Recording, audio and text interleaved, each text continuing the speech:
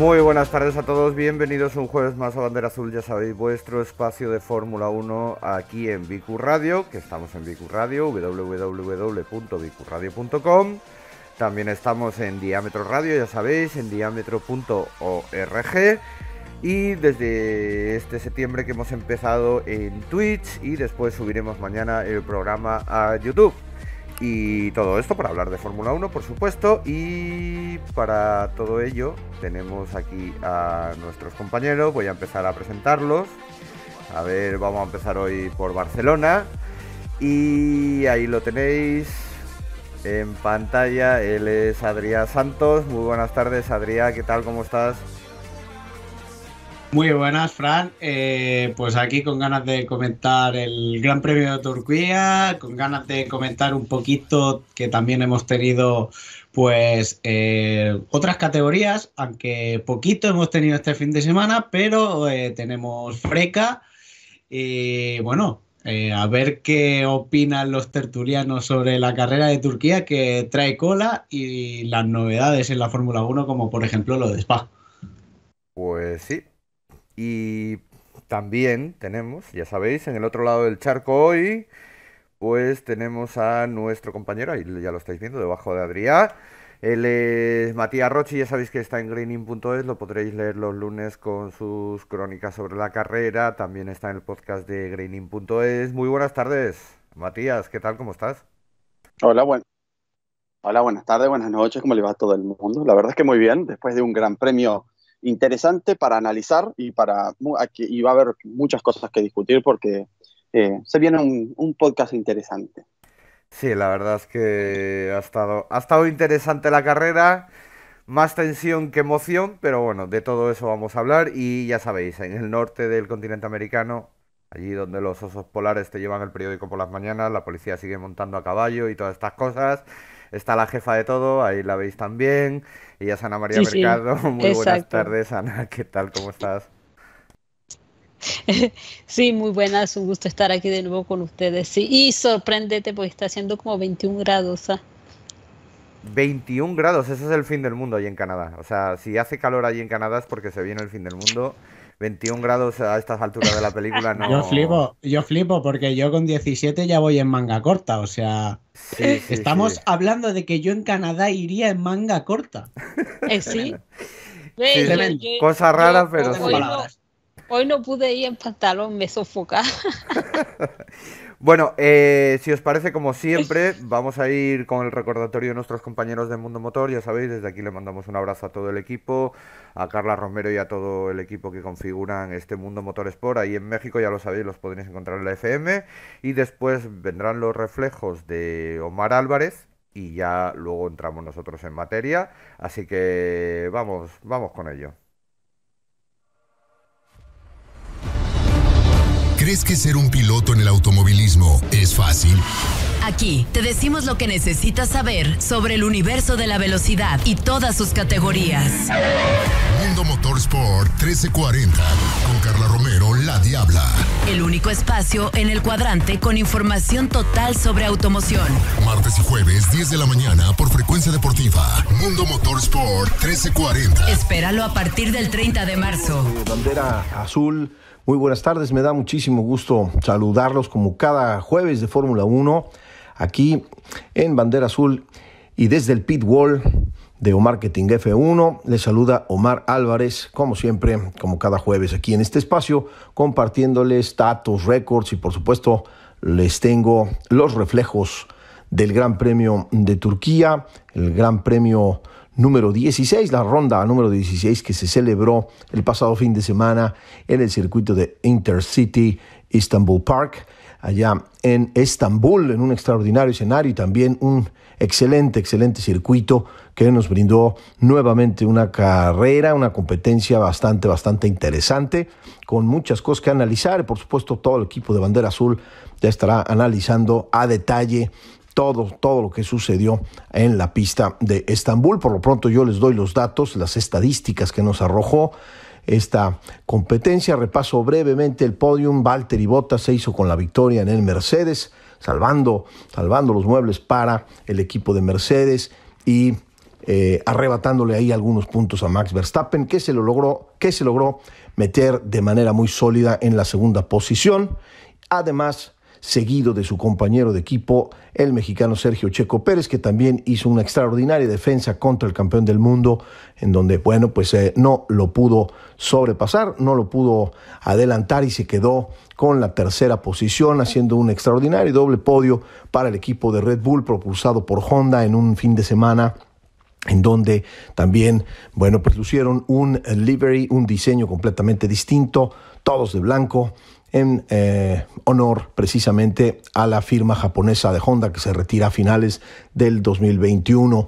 Sergio Pérez y Max Verstappen lograron un extraordinario, extraordinario doble podio para el equipo de Red Bull y con ello, bueno, pues eh, sale el eh, piloto neerlandés con seis unidades de ventaja sobre Lewis Hamilton en el Campeonato Mundial de Pilotos. Desafortunadamente, bueno, Mercedes logró, logró sumar más puntos y finalmente ellos salen eh, con ventaja en el Campeonato Mundial de Constructores. Así que bueno, pues la pelea, la lucha por eh, ambos campeonatos sigue al rojo vivo y bueno, pues eso es precisamente lo que queríamos lo que queríamos ver. La carrera del domingo fue realizada bajo pista mojada, completamente mojada. Durante todo el fin de semana eh, se amenazaba con la lluvia. se presentó durante algunos, algunas partes de la carrera del fin de semana y sobre todo, bueno, pues el día de la competencia, el domingo, se realizó el Gran Premio de Turquía bajo pista eh, completamente mojada y no se secó en todo en toda la carrera, así que pues eh, complicado, complicado, pero eso obviamente, como siempre lo, he mencionado, la lluvia es un ecualizador natural del motorsport, de las competencias, empareja las cosas y bueno, normalmente, normalmente nos, eh, nos brinda eh, un espectáculo. en, dentro de la Fórmula 1 y dentro de algunas otras categorías. La posición de privilegio del sábado, la prueba de calificación, la consiguió de manera heredada la número 18 de su historia, fue para Valtteri Bottas, con un tiempo de un minuto 22 segundos 988 eh, milésimas, una pole heredada por la penalización de Lewis Hamilton. Eh, que esas son las eh, cosas que probablemente a mí no me parecen incongruentes de la Fórmula 1. Estadísticamente, la posición de privilegio debió de haber sido para Lewis Hamilton, quien había marcado el récord absoluto en la pista de Estambul. Sin embargo, por sus penalizaciones, tuvo que salir 10 eh, posiciones atrás de cómo terminara la prueba de calificación. Salió en la posición número décimo primera, así que Valtteri Bottas se hizo con la pole con el segundo mejor tiempo del sábado. El promedio de velocidad al que giró el finlandés fue de 231.561 kilómetros por hora. La vuelta más rápida ya dentro de la carrera, el domingo eh, también el eh, finlandés Valtteri Bottas logró establecer el mejor tiempo en el Mercedes a la altura de la vuelta 58 final, la vuelta final eh, logró el finlandés un extraordinario tiempo de un minuto 30 segundos 432 milésimas, la número 18 de su historia. Eh, así que eh, extraordinario lo que hace en realidad el fin de semana el piloto finlandés. Con este tiempo no logró, no logró romper el récord de vuelta de Juan Pablo Montoya, permanece el récord de vuelta de Juan Pablo Montoya del 2005. El eh, promedio de velocidad de Valtteri durante su prueba, durante su vuelta rápida en la carrera fue de 212.500 kilómetros por hora. La victoria número 121 para el equipo de Mercedes, sexta de la temporada y segunda en Estambul. La victoria, esta fue también la victoria número 208 para la unidad de potencia alemana de Mercedes. Valtteri Bottas logró su triunfo número 10 en la historia de la Fórmula 1. No ganaba, no ganaba desde Rusia de 2000, 2020. Así que bueno, pues fue refrescante ver al piloto finlandés en lo más alto del podium. Precisamente los eh, récords, las estadísticas de los podios. Valtteri Bottas logró subir a su podio 65, mientras que Max Verstappen llegó a su podio 54 y el mexicano Sergio Pérez llegó a su podio número 13, es el mexicano mejor posicionado en ese rubro en la historia de México en la Fórmula 1. Las penalizaciones principales del fin de semana, bueno, pues eh, recordemos que desde antes de iniciar la actividad de la Fórmula 1 en eh, Estambul, conocimos que Carlos Sainz eh, penalizaría por el cambio de la unidad de potencia motor del motor en el SF21 y tuvo que salir en el fondo de la parrilla. Lewis Hamilton también, ya lo mencionaba, 10 posiciones por cambio de algunos elementos en la unidad de potencia de Mercedes. También Daniel Richardo tuvo que cambiar el equipo de McLaren algunos elementos en su unidad de potencia y tuvo que salir desde la posición número 19. Ya dentro de la carrera, Pierre Gasly, el francés, se hizo acreedor a una penalización de 5 segundos por provocar una colisión en la arrancada con Fernando Alonso, que a mí me parece bastante, bastante rigorista. Fue un, me parece a mí, un uh, incidente de carrera. Después, Fernando Alonso, quien sufriría el tema con Pierre Gasly, se hizo acreedor a una penalización de 5 segundos por provocar una colisión con Mick Schumacher. Esa me parece bastante, bastante bien aplicada. Las uh, velocidades máximas eh, en el uh, Gran Premio de Turquía, como siempre les comparto las velocidades que se registran en los tres sectores, en los sensores de los tres sectores más rápidos de la pista, la máxima velocidad de la trampa, en el Speed Trap, fue para Charles Leclerc en la Ferrari SF21, cruzando a 311.3 kilómetros por hora. La máxima velocidad en el sensor de la meta, Nicolas Latifi en el Williams, increíble, la verdad, por. Um, eh, por difícil que suene, por difícil que parezca, pero así lo logró la unidad de potencia Mercedes montada en el Williams. Nicolás Latifi logró alcanzar 245 kilómetros por hora y la máxima velocidad en el sensor del sector 2, también para Nicolás Latifi en el Williams eh, Mercedes a 295.4 kilómetros por hora. El piloto del día fue Carlos Sainz, el madrileño, en la Ferrari SF21, que hizo una extraordinaria, extraordinaria carrera, partiendo desde el fondo de la parrilla y avanzando 12 posiciones para terminar en la eh, P8 y bueno, pues tener además este galardón que otorga el eh, público aficionado a la Fórmula 1. Bien, bien merecido, la verdad, el piloto del día para Carlos Sainz en la Ferrari, que avanzó 12 posiciones y por supuesto fue el piloto con más posiciones avanzadas en todo el Gran Premio. No tuvimos eh, aparición del auto de seguridad, tampoco tuvimos eh, el auto de seguridad virtual y tampoco tuvimos banderas rojas, lo cual, bueno, pues demuestra que la Fórmula 1 sí puede correr bajo piso, bajo piso mojado. Así que bueno, pues ahí lo dejamos también para, para la FIA. Es un, eh, es un gran dato. La verdad, normalmente, bueno, pues la FIA nos tiene acostumbrados a tenerle miedo al piso mojado, a tener eh, cierta precaución y por supuesto la seguridad de los pilotos es muy importante, pero pues esto demuestra que sí se puede, eh, bajo un clima controlado, por supuesto, y con las llantas Pirelli intermedias que utilizaron todos los pilotos, salvo en el caso, salvo en el caso de Aston Martin y de Sebastian Vettel, que me parece de manera absurda, eh, seleccionaron en el cambio de las gomas montar los neumáticos medios y por supuesto, bueno, pues bajo las condiciones eh, climáticas en ese momento y que la pista no se secó en ningún sector, en ningún tramo de la pista se secó, pues desafortunadamente Sebastián Vettel tuvo que retornar muy, muy complicado a los boxes para montar nuevamente las gomas intermedias de color verde. Así que bueno, pero finalmente se demostró que se puede, que se puede correr bajo lluvia. El pit stop más rápido fue nuevamente para el equipo austriaco de Red Bull. Le cambiaron los cuatro neumáticos a Max Verstappen en 2.15 segundos, ganando el premio de AHL del domingo. No tuvimos tampoco abandonos en esta competencia, lo cual, bueno, pues habla, habla bastante bien del rendimiento de eh, los 20 eh, monoplazas de los 10 equipos de la Fórmula 1 en suelo, en suelo turco. Así que eh, el auto de seguridad utilizado en Estambul durante todo el fin de semana fue el auto o eh, el grupo de autos de Aston de Aston Martin. Así que bueno, pues hasta aquí, hasta aquí los uh, reflejos del Gran Premio de Turquía. Voy a devolver los micrófonos allá al estudio de Bandera Azul con mi compañero Fran, Fran Paramio, la jefa de todos, Ana María Mercado y el resto del equipo de Bandera Azul. Les saludó desde el Pit Wall de Omar Marketing F1, como siempre, con mucho gusto, Omar Álvarez. Nos vemos y nos escuchamos muy pronto nuevamente en la siguiente competencia de cara al Gran Premio de los Estados Unidos. La Fórmula 1 se traslada al continente americano donde nos encontramos por acá y por supuesto estaremos comentando la previa y por supuesto después los reflejos del Gran Premio de los Estados Unidos y toda, toda la etapa de América y posteriormente la etapa de Oriente Medio para cerrar la Fórmula 1 2021. Hasta, hasta entonces, eh, nuevamente les saludó con muchísimo gusto Omar Álvarez desde el Pitwall de O Marketing F1. Pues muchísimas gracias Omar, como siempre, está ahí la transición, ahí estamos. Eh, muchísimas gracias, Omar, como siempre. Y antes de empezar nosotros a ver, comentando lo que pasó en el Gran Premio de Turquía, Adrián Santos, que lo tenemos por ahí, nos va a dar los resultados y cómo van en la clasificación mundial de pilotos y de constructores. Adrián. Eh, antes que nada, Fran, he visto que nos tienen en la tele, así que voy a decir, hola mamá, salgo en la tele. Eh, ya está. voy a seguir, voy a seguir.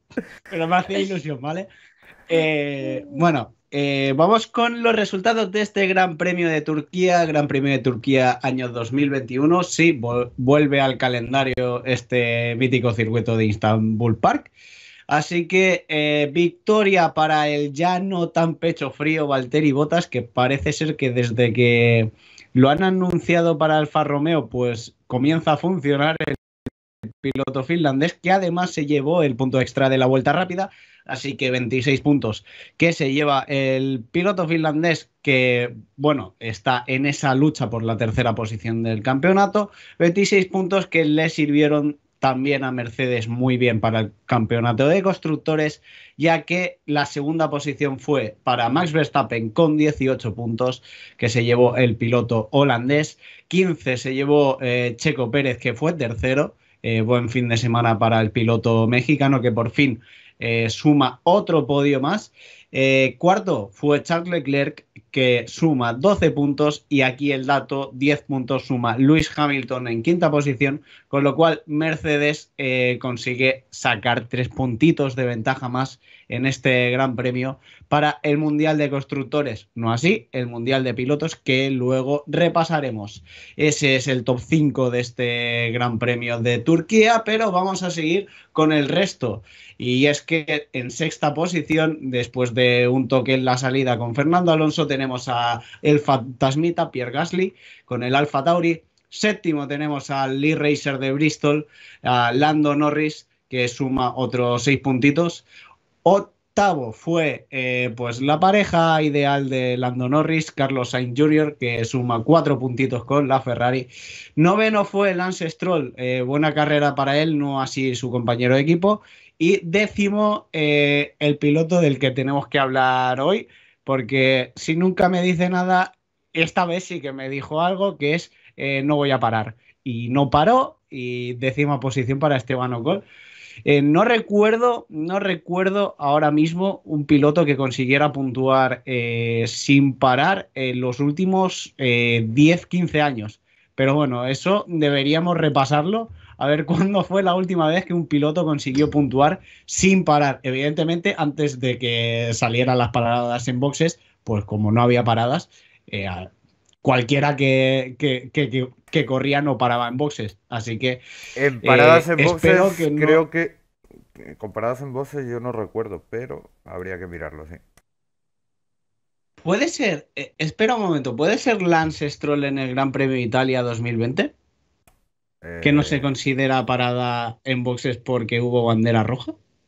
Ah, bueno, claro. Eh, me refiero, me refiero a una carrera. pero eso es claro, sí, pero eso es un tecnicismo. Claro, nos referimos a una carrera donde de forma natural un piloto de, no tenga que parar en boxes. Claro, si nos ponemos con banderas rojas, ha habido Exacto, muchas banderas rojas donde se, han donde se han cambiado neumáticos y si no cuenta, pues evidentemente pues hay muchos. Pero yo me refiero a una situación normal de carrera, yo no recuerdo ninguna, la verdad. Mm, Yo tampoco, por eso digo, a ver, tengo recuerdo de los últimos 15 años y ya es bastante porque tengo 24.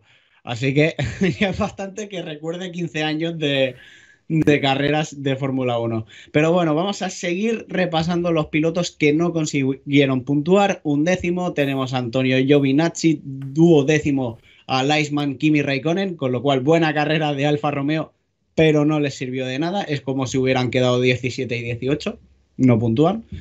Décimo tercero tenemos al abocado Daniel Ricciardo, décimo cuarto, eh, gran carrera al inicio de Yuki Tsunoda, aunque no se llevó puntos, eh, este gran premio parece ser que el japonés mm, estuvo bastante bien. Eh, decimoquinto, George Russell nos tenía mal acostumbrados ya las últimas carreras a estar más arriba, así que eh, esta vuelta a la realidad pues nos sabe a poco. Decimosexto, Fernando Alonso que salía quinto, toque en la salida, mal gran premio, ya lo comentaremos seguro en el programa. Decimoséptimo fue Nicolás Latifi, decimoctavo, eh, otro que fue de mal en peor, Sebastián Vettel mala carrera del alemán. Eh, también seguramente comentemos la actuación de, de Vettel en, en, este programa. Décimo noveno, Mick Schumacher. Eh, y último, pues el de siempre, el piloto sin bandera, Nikita Mazepin. ¿Cómo va el campeonato de pilotos? Pues tenemos otro cambio más de liderato, otro cambio más. Eh, ¿Quién iba a decir? ¿Quién iba a decir que a falta de seis carreras seguiríamos sin saber quién va a ser campeón de, del mundo? Porque los últimos años nos ha dicho siempre de que, bueno, a falta de seis carreras, aunque matemáticamente no tenga el título, ya se sabía quién iba a ser campeón y tal, pero es que este año, a falta de seis carreras, Seis puntos son los que separan a Max Verstappen, nuevo líder del Campeonato Mundial de Fórmula 1 2021, de Lewis Hamilton, que tienen 262.5 y 256.5 respectivamente. Así que eh, el Mundial se aprieta otra vez, aunque ya estaba apretado, pero se vuelve a cambiar el, líder. Eh, la próxima carrera podríamos tener que Hamilton recupere el liderato, como que Max aumente, no lo sabemos. Eh, yo digo, este campeonato, por fin, por fin tenemos emoción para un campeonato mundial de pilotos y yo invito realmente a la gente que siga la Fórmula 1 este año. En tercera posición, como antes comentaba, Valtteri Bottas, que saca un poquito más de ventaja sobre Lando Norris, eh, piloto ultra regular que con el McLaren está en cuarta posición. En quinta sigue Checo Pérez detrás del McLaren. Eh, debería espabilar, aunque ha conseguido su tercer podio de la temporada. Así que bien por el piloto mexicano. Esa es la línea que hay que seguir y no la de los últimos grandes premios. En sexta posición, también con tres podios, tenemos a Carlos Sainz, eh, que volvió a sumar puntos este fin de semana. Y a medio puntito, medio puntito, esto es un dato que me resultó curioso cuando lo vi. A medio puntito tenemos a Charles Leclerc, o sea, los dos pilotos de Ferrari están separados por tan solo medio punto. Eh, buena carrera la de Leclerc quedando cuarto y le consiguió recortar los puntos de ventaja que tenía Carlos y se quedan a eso. O sea, más a la par no se puede estar. Bueno, sí, empatados a puntos, pero para que me entendáis, están los dos pilotos. Yo te, te voy a decir una cosa, Ay, Adrián. No sé cómo funciona Site. Bueno, sí, porque está Guillermo Moreno, claro, por eso funciona Site to Site, pero es que está como una regadera, niño. Dice, no pueden estar más a la par. Dice, bueno, si están empatados, sí. O sea, va, sí, sigue, anda, por favor, sigue. A ver, hay, hay que dar show, hay que dar show, que, por- que estamos en Twitch y la gente tiene que, Que, que tiene la cámara tiene puesta, hombre, toca- Aquí hay que ganarse los bits, las suscripciones, suscribiros al canal, por cierto, y donarnos ahí bits, a saco, a saco. Bueno, en octava posición tenemos a Daniel Ricciardo con 95 puntos, a 21 puntos de los dos pilotos de Ferrari. Noveno tenemos el Alfa Tauri de Pierre Gasly con 74. Décimo tenemos a Fernando Alonso con 58, eh, que aventaja en 8 puntos a su compañero de equipo Esteban Ocon en un décima posición. Décimo segundo tenemos a Sebastian Vettel. Décimo tercero a Lance Stroll, o sea, los dos pilotos de, Aston Martin eh, pegaditos por tan solo 9 puntos de diferencia. Tenemos décimo cuarto con 18 puntos a Yuki Tsunoda, décimo quinto George Russell con 16. Eh, con 7 puntos tenemos justo a su compañero de equipo, Nicolás Latifi. Tenemos luego a Kimi Raikkonen en decimoséptima posición con 6 puntitos a uno de Latifi. Y con un puntito cierra eh, la gente que ha puntuado esta temporada, Antonio Giovinazzi con el Alfa Romeo. Sin puntos tenemos en decimonovena posición a Mick Schumacher. Vigésimo, sí, ha habido cambio de posición y no nos hemos dado cuenta. Vigésimo tenemos a Nikita Mazepin y vigésimo primero a Robert Kubica. O sea, Mazepin ya no es último. Eh, así como dato. Vamos con el campeonato de constructores que parece ser que el equipo Mercedes ha cogido un poquito de ventaja y ya ventaja en 36 puntos al equipo Red Bull en segunda posición. Tercera posición, ya un poquito más descolgado de esa lucha, tenemos a McLaren que está en lucha constante con Ferrari este año por esa tercera posición. Siete puntos y medio eh, separan a los de Walking de los de Maranello. Eh, lucha histórica, eh, cuanto menos, Ferrari contra McLaren. Y aquí hay que recordar que una posición en el Mundial de Constructores es bastante importante por el tema de premios económicos que te pueden ayudar luego al desarrollo del monoplaza del siguiente año. En quinta posición, eh, ya descolgado de esa lucha, pero en una lucha por esa quinta posición tenemos a Alpine con 104 puntos, luego tendríamos a Alfa Tauri con 92 eh, un poquito más descolgados aún tenemos a Aston Martin con 61 y luego ya eh, intentando no ser los últimos tenemos a Williams con 23 puntos, que creo yo que esa octava posición, eh, viendo cómo ha ido la temporada, la tienen más que afianzada. Novena posición para Alfa Romeo con 7 puntitos que pueden estar más o menos tranquilos porque último es Haas sin puntos y sin intención de puntuar en las carreras que quedan. Así que dicho esto, eh, devuelvo el micro. Devuélvelo que todavía no lo has pagado, sin vergüenza. A ver, eh, eh, vamos, vamos a empezar. y recuerdo, donar, donar, muchas cosas.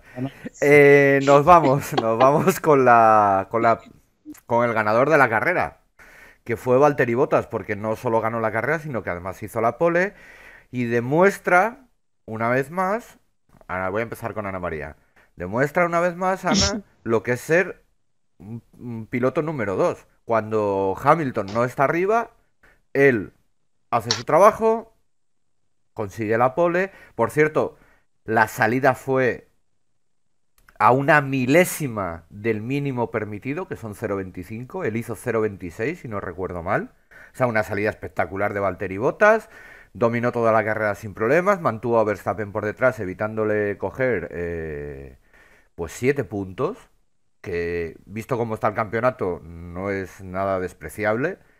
Y al final se demuestra que es lo que es un piloto número 2. Que cuando el número 1, eh, como Hamilton, cambia pieza de motor, tiene que penalizar Valtteri Bottas está ahí y hace su trabajo perfecto.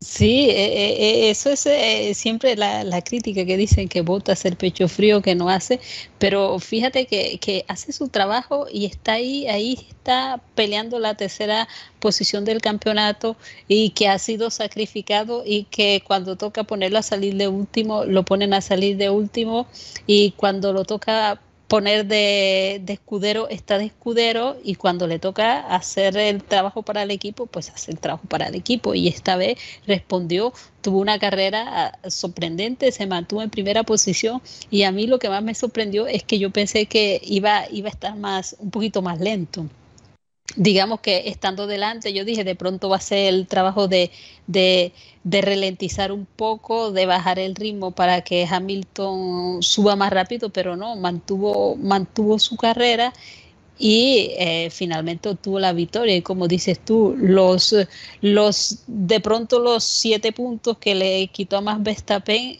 no iban en su pelea, pero eh, fueron siete menos que lo hubiera podido avanzar a, Hamilton y, no lo hizo. Así que eh, esta vez Bottas demuestra que es capaz de luchar y como decía Adri ahorita, desde que firmó el contrato con Alfa Romeo, digamos que es otro. Eh, y hay que recordar una cosa, el año pasado a Bottas le fue muy mal en este circuito. Terminó a una vuelta de su compañero y terminó perdiendo el campeonato en este circuito y encima eh, terminó haciendo como siete u ocho trompos. Entonces, de aquella actuación a, brillar como brilló este domingo, la verdad es que es un gran trabajo de, Botas, un gran trabajo eh, mostrando qué es lo que tiene que hacer un número dos y dónde tiene que estar en el momento indicado. Eh, sí, Adrián, porque además Hamilton se lo tomó todo con mucha tranquilidad. De hecho, su noda lo mantuvo como 7-8 vueltas detrás haciendo su trabajo. Por cierto, el japonés haciendo una buena carrera este fin de semana en Turquía. Y Botas eh, es que no tuvo ningún atisbo de, de, debilidad. O sea, desde la salida dominó absolutamente todo, todo el Gran Premio. Demostrando también que Mercedes, después de los panones de verano, siempre saca algo más, que no se sabe de dónde sale, pero al final está ahí y también le da esa ventaja con respecto a los demás equipos. A mí lo que me parece bastante curioso, eh, aparte de la superioridad de botas, fue la vuelta rápida. Eh, porque recordemos que Hamilton mete el neumático de lluvia mucho más tarde que el resto, que es lo que le condiciona toda la carrera, por así decirlo al piloto británico, mete el neumático de lluvia y rápido se le crea graining y no es capaz de sacar una vuelta buena, no es capaz luego de limpiar el neumático y volver a, rodar rápido. Mientras tanto, botas, ni problemas de graining, eh, ni problemas de degradación del neumático de lluvia. Eh, muy sólido, ritmo que Verstappen no parecía poder llegar a alcanzar a Valtteri en ningún momento de la carrera. Eh, y luego al final de carrera coge y te hace la vuelta rápida. Eh, yo no he visto, no he visto a Botas tan superior, quitando Rusia, que es su circuito, mm, vamos a decir, preferido, quitando cuando corre en Rusia no he visto a Botas tan superior nunca. Porque era un, control tremendo. Y ahora que menciona Rusia, voy a esto, que, que eh, ahí le hago la preguntita de paso a paso por Mati, que eh, finalmente leí algunos comentarios que esta performance que hizo en Rusia también, porque lo, lo pusieron detrás, finalmente se hizo el que no quería hacer mucho, a la final de la carrera con la lluvia recuperó todo y subió yo pienso que a la, quinta, a la quinta posición en Rusia y esta vez ese carrerón que hizo, una velocidad que jamás se vio en peligro, jamás estuvo Verstappen a punto de, meter ni siquiera el DRS para, para alcanzarlo, no había ningún chance de que pudiera alcanzarlo y salió el comentario de que de pronto el cambio de motor de Rusia de botas no fue estrategia para bloquear a Verstappen, sino que le pusieron un motor con alguna corrección porque eh, los rendimientos que dieron en Turquía no se comparan a los rendimientos que estaba dando Bota antes con el motor anterior, antes de eh, Rusia. Y fíjense que Hamilton mete el motor aquí en, en Turquía y si no es por Yuki que le bloquea que le bloquea casi ocho vueltas, hubiéramos podido pensar en una victoria para Hamilton. Sí, la, ah. dime Matías, ¿qué ibas a decir? No, no, no, que la posibilidad, eh, la posibilidad de que hayan evolucionado algo del motor existe. Eh, hay que ver eh, en dónde han evolucionado y de qué manera. Quizás eh, lo que pudieron haber hecho es evolucionar un poco más eh, las partes homologadas del, de, del motor y eso, eso significa que están dentro del reglamento y que nada puede pero, hacer. Pero no, ok, ok. A eso iba, que, que podían evolucionar si en teoría no pueden. Claro, bueno, pero si vos evolucionas las partes homologadas, no deberías tener demasiados problemas. Eh, de cualquier manera, eh, siempre hay que, eso hay que agarrarlo con pinzas porque eh, en la Fórmula 1 sabemos que existen tecnicismos y, siempre los, los, ingenieros buscan ese, ese, punto gris en el reglamento como para explotarlo, que lo hacen muy bien. entonces, quizás puedan haber hecho otro tipo de cosas también. Hay, será una cuestión de que si realmente Red Bull tiene alguna información como para poder presentar un caso y hacer que eh, eh, y hacer eh, la nada nada la demanda nada, nada. olvídate ya lo, ya lo intentaron la semana pasada y le dijeron que es que no lo iban ni a mirar o sea la FIA directamente les dijo que no iban a investigar nada. Cuando se Red Bull preguntó Red Bull preguntó dijo a ver esto le dijo mira ni lo intentes porque no lo vamos a mirar o sea directamente o sea les cortó en seco. Yo te, yo te recuerdo una cosa. En, en el 2019 eh, a Ferrari le dijeron lo mismo y en las y, y, a partir de Estados Unidos eh, le hicieron una investigación. Sí, sí, pero estás hablando... No, no, no, no, no, no, A Ferrari no le hicieron lo mismo, no. Pero a ver, Mati, eh, Ferrari es Ferrari, Mercedes es Mercedes. Mercedes lleva desde que se hizo. Vamos a ver, a un equipo al que le dan el, el, reglamento técnico dos años antes que a los demás, pues ya me dirás tú a mí. Y viendo cómo se han comportado la FIA con Mercedes durante todos estos años, o sea, no me lo creo. O sea, si ya directamente la semana pasada le dijeron, es que ni siquiera lo podéis intentar porque no os vamos a, nos vamos, no lo vamos ni a mirar. O sea, no es que dijeran, eh, traer las pruebas que tengáis, porque luego también Red Bull, eh, las pruebas que luego presenta, como presentó en Gran Bretaña, que la vuelta de un piloto que hizo no sé qué y, presentó una trazada de... A ver, chicos, o sea, o tienes datos reales o tampoco vayas a marear a la FIA, pero de todas maneras, la FIA de por sí, todos sabemos que el color gris así plateado, pues como que le gusta bastante. Y le cuesta mucho, y le cuesta mucho sancionar a Mercedes. Lo hace de vez en cuando, pero para, yo creo que para disimular un poco. Dime, aquí, aquí yo creo que lo que más le gusta es la nacionalidad del piloto que hay en Mercedes.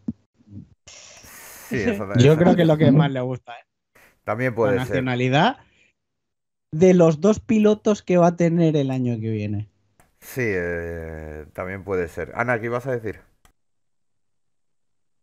yo, yo estoy escuchando cuando habían del, del, tema de Ferrari, que digo yo, pero es que no, no, no, no es la misma cosa. A Ferrari no le dijeron no se lo vamos a mirar, a Ferrari le dijeron eh, vamos a ver qué pasa y luego se dieron a todas las peticiones de todos los equipos, que no es lo mismo.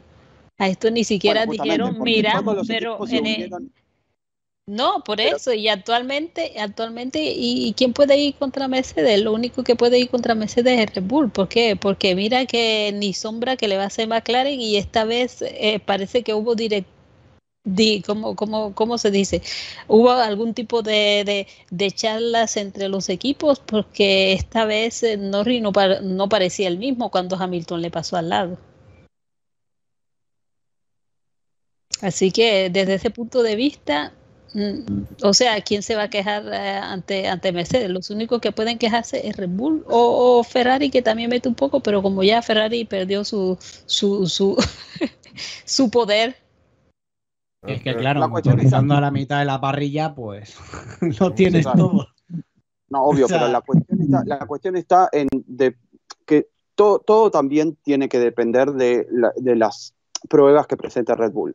Porque si Red Bull presenta algo sí, pero que, es que no hubo realmente contra Ferrari nunca, no hubo prueba ni siquiera justamente, un acuerdo privado, pero, Red Bull, pero, Red Bull dice y puede probar que tiene que, que pueden hacer eh, alguna, algún tipo de cosa y que sea una prueba contundente en donde Mercedes ha mejorado tanto que eh, eh, que se, vea este, esta evolución y este sobrepaso de potencia eh, del motor.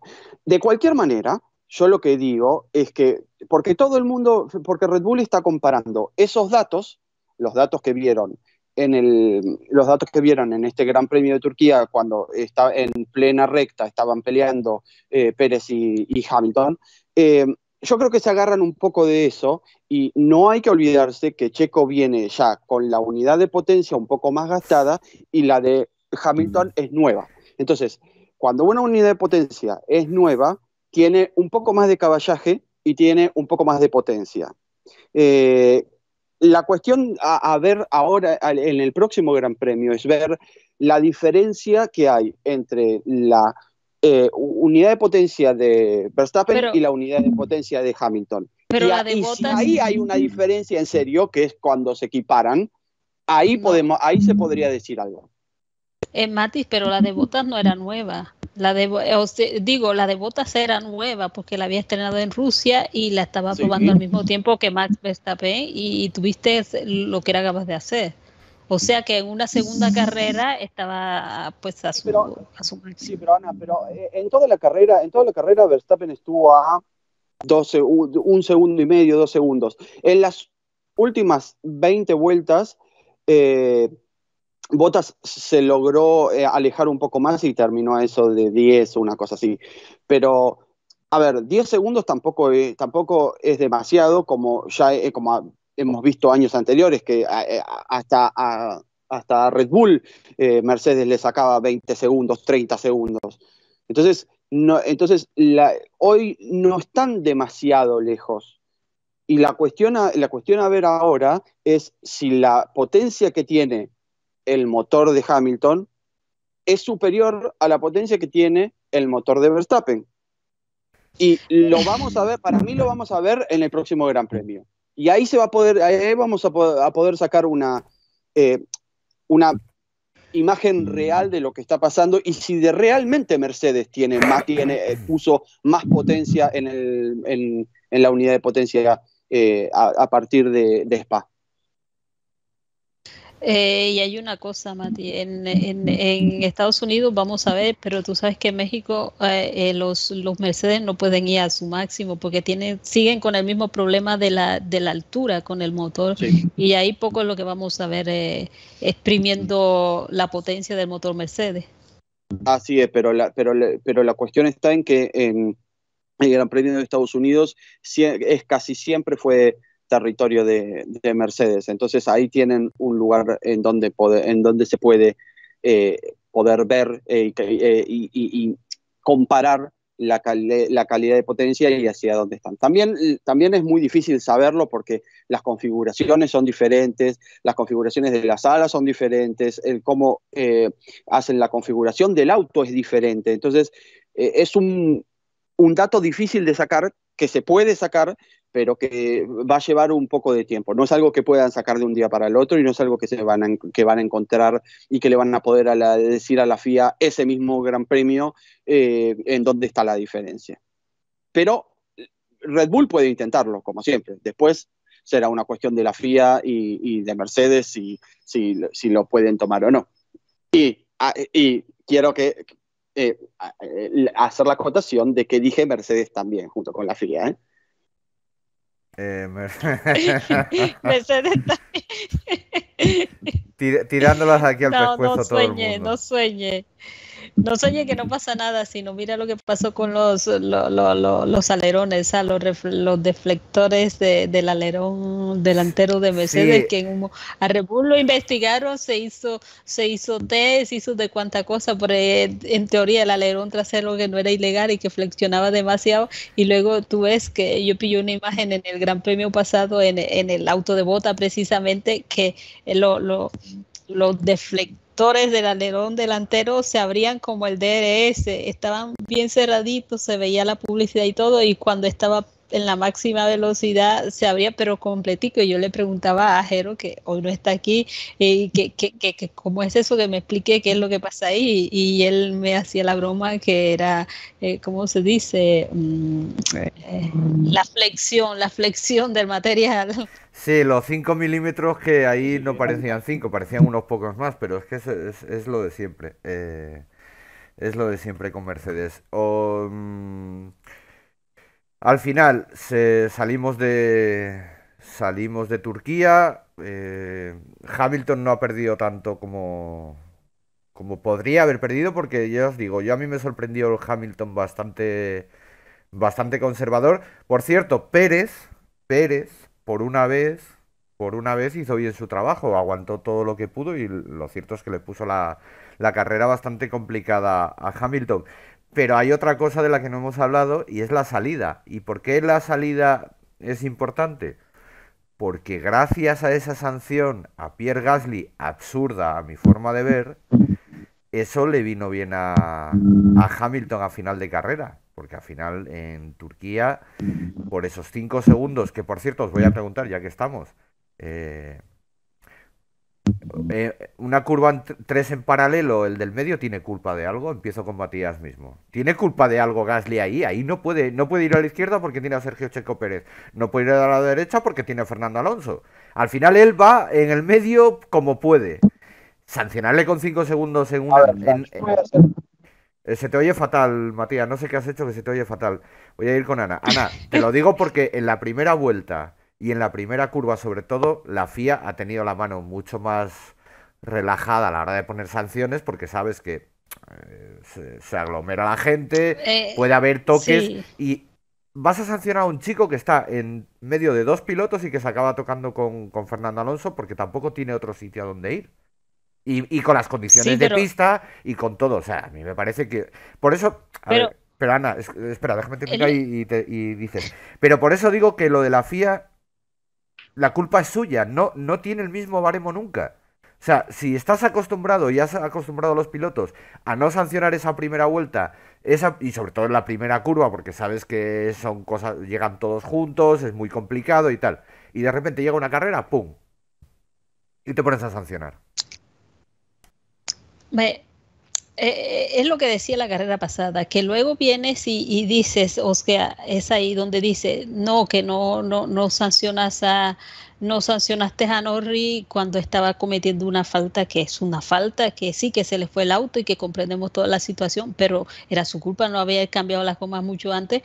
Y luego aquí enseguida no, no le, no le, no tuerce el pulso y va y va enseguida eh, eh, sancionando a, a, Gasly y es ahí donde yo digo, eh, en muchas ocasiones ha sido un simple eh, lance de carrera y esta vez yo creo que como lo dijo mismo Fernando Alonso, la FIA va según el piloto y según el piloto, pues él esta vez el beneficiado, como justo antes de la carrera estuvo quejándose de la FIA, de que no sanciona, de que no hace esto, de que no hace lo otro, apenas un piloto lo tocó en pista, pues vamos y lo castigamos enseguida, porque si no luego se ofende y, y, y se molesta. Entonces, eso es lo que yo no entiendo. Si hay tres en la pista, hay uno por el, el que está en la mitad, es el que está en sándwich y el que está en sándwich es el que termina sancionado. Eh, yo realmente no, no, no entiendo los criterios y como siempre la FIA va según el piloto, simplemente yo no creo que según la nacionalidad, como lo decía Alonso, yo digo que va más según quién es el piloto y, y esa vez también lo dije, esta vez el piloto, si el piloto es, es un doble campeón del mundo y se queja mucho, pues tampoco le vamos a dar duro. Entonces, Gasly termina sancionado, lo que le termina perjudicando mucho y luego pues Alonso va y... y...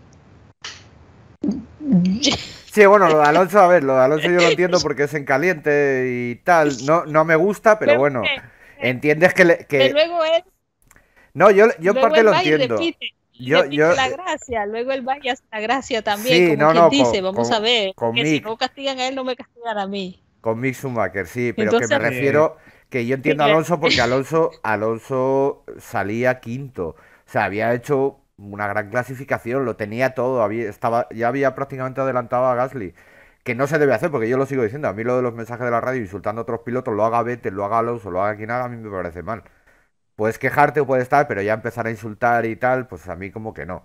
Pero bueno, tiene media explicación porque en realidad le fastidian la carrera. Pero es que Gasly no hace nada, digamos, eh, fuera de sitio. El chico va en medio de dos, intenta ir como puede, en esa curva, además eh, con la situación complicada de pista, porque es que no estamos hablando de una pista seca donde tienes buen agarre, donde además porque el volante se ve que Gasly contravolantea un poco porque el coche se le está yendo, porque las condiciones de pista son muy complicadas.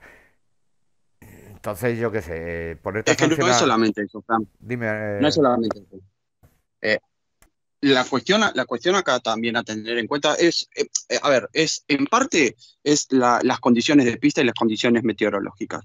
Uno, un, piloto usualmente cuando, eh, cuando está en ese tipo de curvas en mojado, lo que suele hacer es al, al que va por adentro, suele darle un poquito más de, un poquito más de distancia a la hora de hacer una maniobra en paralelo. ¿Por qué?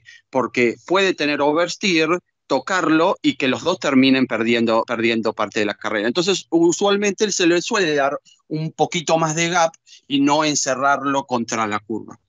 Eh, y el hecho de que Alonso venía por afuera eh, es, eh, es una es muy inteligente por Alonso intentar hacer esa curva por afuera y tratar de ganar, pero Alonso no pensó en algo que es una cuestión, que es una cuestión del circuito. En la curva 1, el circuito se eleva y, eh, pasada la curva 1 en ba- eh, es un, tiene una pequeña bajada que va hacia el piano exterior saliendo de la curva. Entonces, ¿qué es lo que pasa? Gasly y, y, Pérez, si bien giran, eh, por cómo viene la geografía del, del, del mismo, de la curva. cómo viene la, la- la le- de- que- exacto, de la curva, como viene la geografía de la curva, finalmente termina eh, yendo hacia la, hacia la, un poco más hacia el exterior, porque la curva te lleva a hacer eso. Entonces, si uno intenta hacer esa, esa, ese sobrepaso por afuera, tiene que tener en cuenta que los autos de adentro van a hacer, ese, van a hacer esa, esa cuestión geográfica. Yo, cre- yo creo Entonces, que, yo creo, Mati, parece- yo creo, Mati, que es me más pare- simple que eso. Eh, Todo el mundo que vio la acción, nadie se esperaba que hubiera sanción. Ni siquiera los comentaristas de televisión en España, que mira cómo son. Mira cómo son. Y ni si siquiera ellos, ellos decían, es un incidente de carrera, eh, Gasly va en el medio, no, le, no tiene culpa de nada, o sea, y, y- y habían fastidiado a Alonso, o sea, imaginar el nivel, para que los propios comentaristas digan, no, es que no- Gasly no tiene sitio a donde ir y tal, y no pasa nada, es un incidente de carrera, esto no... Y, y de hecho, cuando Eh, le sancionan con es que 5 no, segundos, es así. cuando le sancionan con 5 segundos, la- las voces son de, al- de alucine total. O sea, de decir, ¿en serio acaban de sancionar a Gasly por, por la primera curva? O sea, es una, una cosa de locos. Echa, ech- ¿Qué dice? Sí, claro, la, la- Echada que... la la madre que parió, la madre que me parió y que me fue a parir. Echada a Gasly de la Fórmula 1 La cuestión- dice eso, de F1, sí, ¿ves? Como lo sabía yo. Eso No, se... pero- Adrián. Joder. Pero ¿sabes qué? Eh, eh, la- Es que la- me he dado cuenta que no hay efecto espejo en el Twitch, así que voy a aprovecharlo. de que se ve bien. Ay. Eh, y lo, lo, La- lo, lo irónico ahí es que, que, se- que, que te iba a decir que, que, que después muestran el abrazo, no sé, no era Fernando con. No, era con Mick Fernando con, Schumacher? sí, con Mick. Ajá, y, y el abracito, yo no sé, con Gasly porque no se lo dio, yo no sé, ahí también me pareció que Hombre, depende es que con quién es que va la cámara. Es que después de, de que Francia nos robara dos veces un mismo día, aquí a Españita nos robaron, eh, tanto en el fútbol como en la Fórmula 1, porque esta carrera la iba a ganar Fernando. No, Esta pero ahora, carrera- a- ahora en serio, no, digo. Eh, eh, no. el- no, no, pero Ahora ahora, a, lo, importante, escucha, es que esa sanción de 5 segundos evita que Gasly quede quinto y Hamilton sexto. Exacto. Así, E- ah, Efectivamente, lo que le Porque la gente quitar a Gasly dice, del la gente, claro, la gente decía no, porque a Gasly ya lo ha adelantado, no hay problema, tal. Mira, es que son carreras en No, no, condiciones, en condiciones diferentes de pista y puede pasar cualquier cosa. De hecho, Gasly quedó sexto por culpa de la sanción. O sea, si no hubiera tenido esa sanción, hubiera quedado delante de Luis Hamilton. Es- y, y es que es se que está Hamilton jugando. lo hubiera perdido hasta con Norris. Claro, es que est- estamos hablando de que, de que No, no, no, Hamilton. Norris, Norris esta vez se portó mal, se portó muy mal.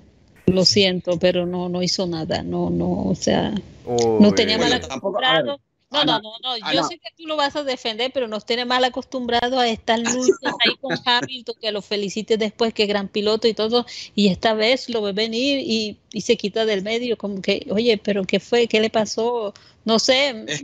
lo dañaron, con esa, lo dañaron con esa carrera perdida ahí por culpa de no ir a parar, entonces le dieron su regaño y le dijeron, bueno, listo, ya como no haces caso, te toca aceptar. No tiene, en realidad no tiene que ver con eso, tiene que ver con un hecho de que McLaren en este fin de semana no, no tuvo un buen fin de semana. Realmente no tuvo un buen fin de semana en donde estuvo, con, estuvo muy perdido, con poca, con, poco ritmo, eh, tanto de clasificación como de carrera. Entonces, ellos sabían perfectamente que no iban a poder eh, llegar a buen puerto. Entonces, ¿qué hicieron? Cuando Hamilton se venía, eh, Norris, Norris ¿por qué, por qué, por qué no, no le pelea la posición y lo deja pasar, entre comillas? Porque sabe que no es la carrera que tiene que correr, porque sabe que, él no, eh, que Norris no está peleando con Hamilton. De ninguna manera puede pelear con Hamilton. Entonces tiene que entonces tiene que tratar de maximizar lo que tiene. Y maximizar lo que tiene, lo que tenía en ese momento era ponerse atrás de Hamilton e intentar que, e intentar que Hamilton lo llevara para adelante. Y esa es la razón por la cual, por la cual Lando lo deja pasar.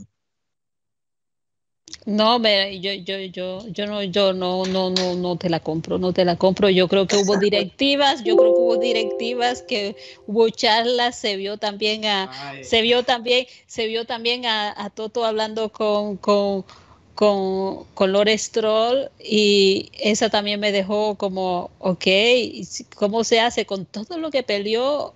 Eh, Hamilton para adelantar a, Yuki y después llega detrás de, de, Lance y, le, da paso. Es raro también porque él tampoco es de dar paso. Que eh, fíjate cuántas veces le ha bloqueado a Vettel y va y Hamilton viene y también le abre la puerta como si nada y no es un piloto que nos resista. Entonces yo digo, ahí hubo conversaciones entre los equipos y ya se está declarando la guerra de quién está con quién.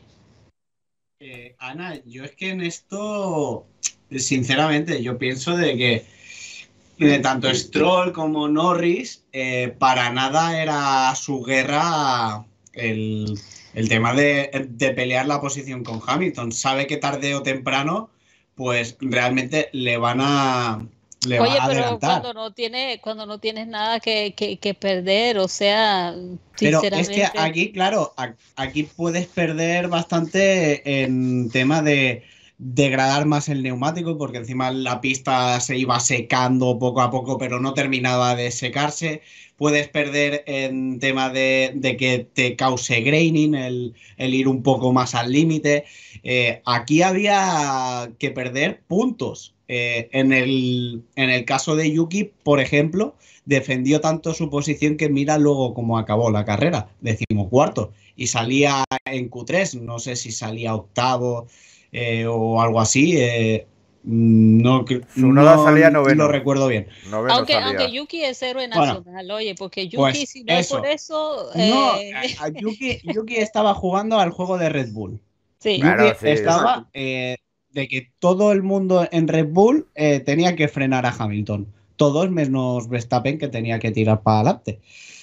Todo el mundo tenía que frenar a Hamilton, sea como sea, y fastidiarle la carrera lo máximo posible. Mientras que el resto, si se hubiera dado en una condición de que eh, Hamilton se hubiera enfrentado a un Alpine, yo creo que hubiera pasado exactamente lo mismo, quitando quizá a Fernando Alonso, que se le va la olla y te frena a cualquiera, ¿vale? Incluso te echa de pista a Mick Schumacher, que no hacía falta, que no hacía falta, que, es una chica móvil, era tan fácil como la siguiente recta lo pasas. Bueno, pues eh, quitando a Alonso, que se mete en todos los jardines, eh, si pones a Ocon, yo creo que Ocon parece como si le dejase pasar. Parece como si le dejase pasar. porque... porque están luchando en otro, en otro campeonato, están luchando a otra cosa y saben que pelearle la posición a Hamilton durante cuatro vueltas son cuatro vueltas que no están gestionando la goma, son cuatro vueltas que no están gestionando el combustible y que luego lo van a pagar más adelante, como lo ha pagado Yuki. Yuki lo ha pagado. ¿Es sí, así? lo, lo, lo, lo, pagó, pero lo pagó, pero le, le, le él, a él no le cuesta, al contrario, lo, lo capitalizó, porque esos No, son intereses a largo plazo. Claro, son lo capitalizó Red Bull, eh, pero claro, eh, estamos hablando de eso, un piloto que está en la órbita Red Bull. Un piloto que no está en la órbita Red Bull, pues dice, oye, eh, yo aquí, vale, puedo pelear un poquito así, pero es que me va a terminar pasando. No, no, me, Entonces, me- para perder ritmo, para perder y en ese momento- perder combustible, Y en ese momento Yuki no tenía nada para perder. Nada, absolutamente nada. Norris sabía, Norris y tanto Norris como Stroll sabían que si, per- si, si, no, si no lo dejaban pasar, iban a terminar perdiendo, y peleaban, iban a terminar perdiendo las posiciones ellos. Entonces, uno tiene que a veces saber darse, darse por vencido y mirar para adelante. Y mirar para adelante significaba, de- significaba dejar pasar a Hamilton y tratar de seguirlo. Eh, exacto. Exacto, Yo- porque es que sí. si no, perdías ritmo, perdías neumáticos, perdías combustible, Exacto. que tontamente Mira, te aseguro Claro. que Fernando pierde lo que tú quieras, pero no lo deje pasar, no lo deja pasar. Hombre. Sí, pero porque Alonso es Alonso y luego rea- realmente eh, Fernando, yo creo que es un maestro eh, en cuestión de gestión de combustible y de neumáticos y le, da igual, porque lo sabe recuperar sin perder ritmo, lo sabe recuperar, pero mm, a Norris, al- a Stroll o a cualquiera le cuesta el triple.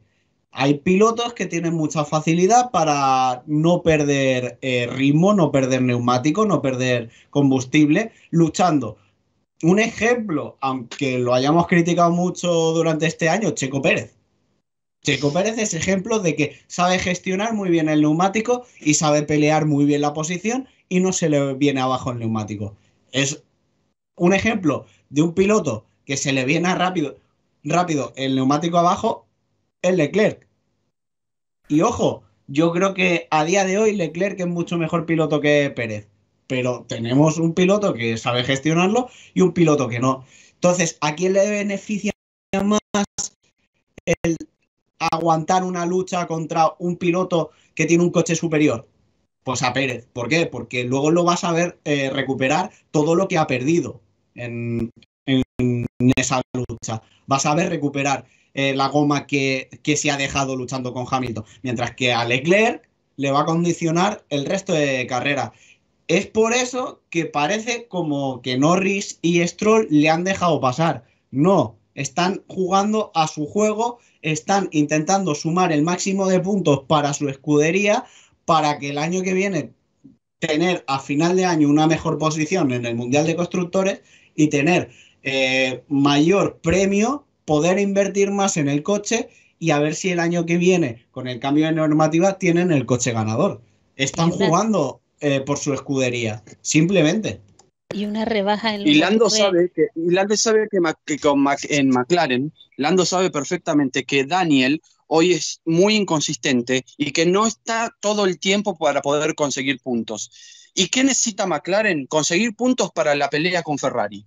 Entonces, sí o sí, Lando es hoy el que tiene que llevar a McLaren hacia adelante. Y si eso significa perder una posición, pero tener punto, pero tener más puntos que Ferrari, eso es lo que tiene que hacer.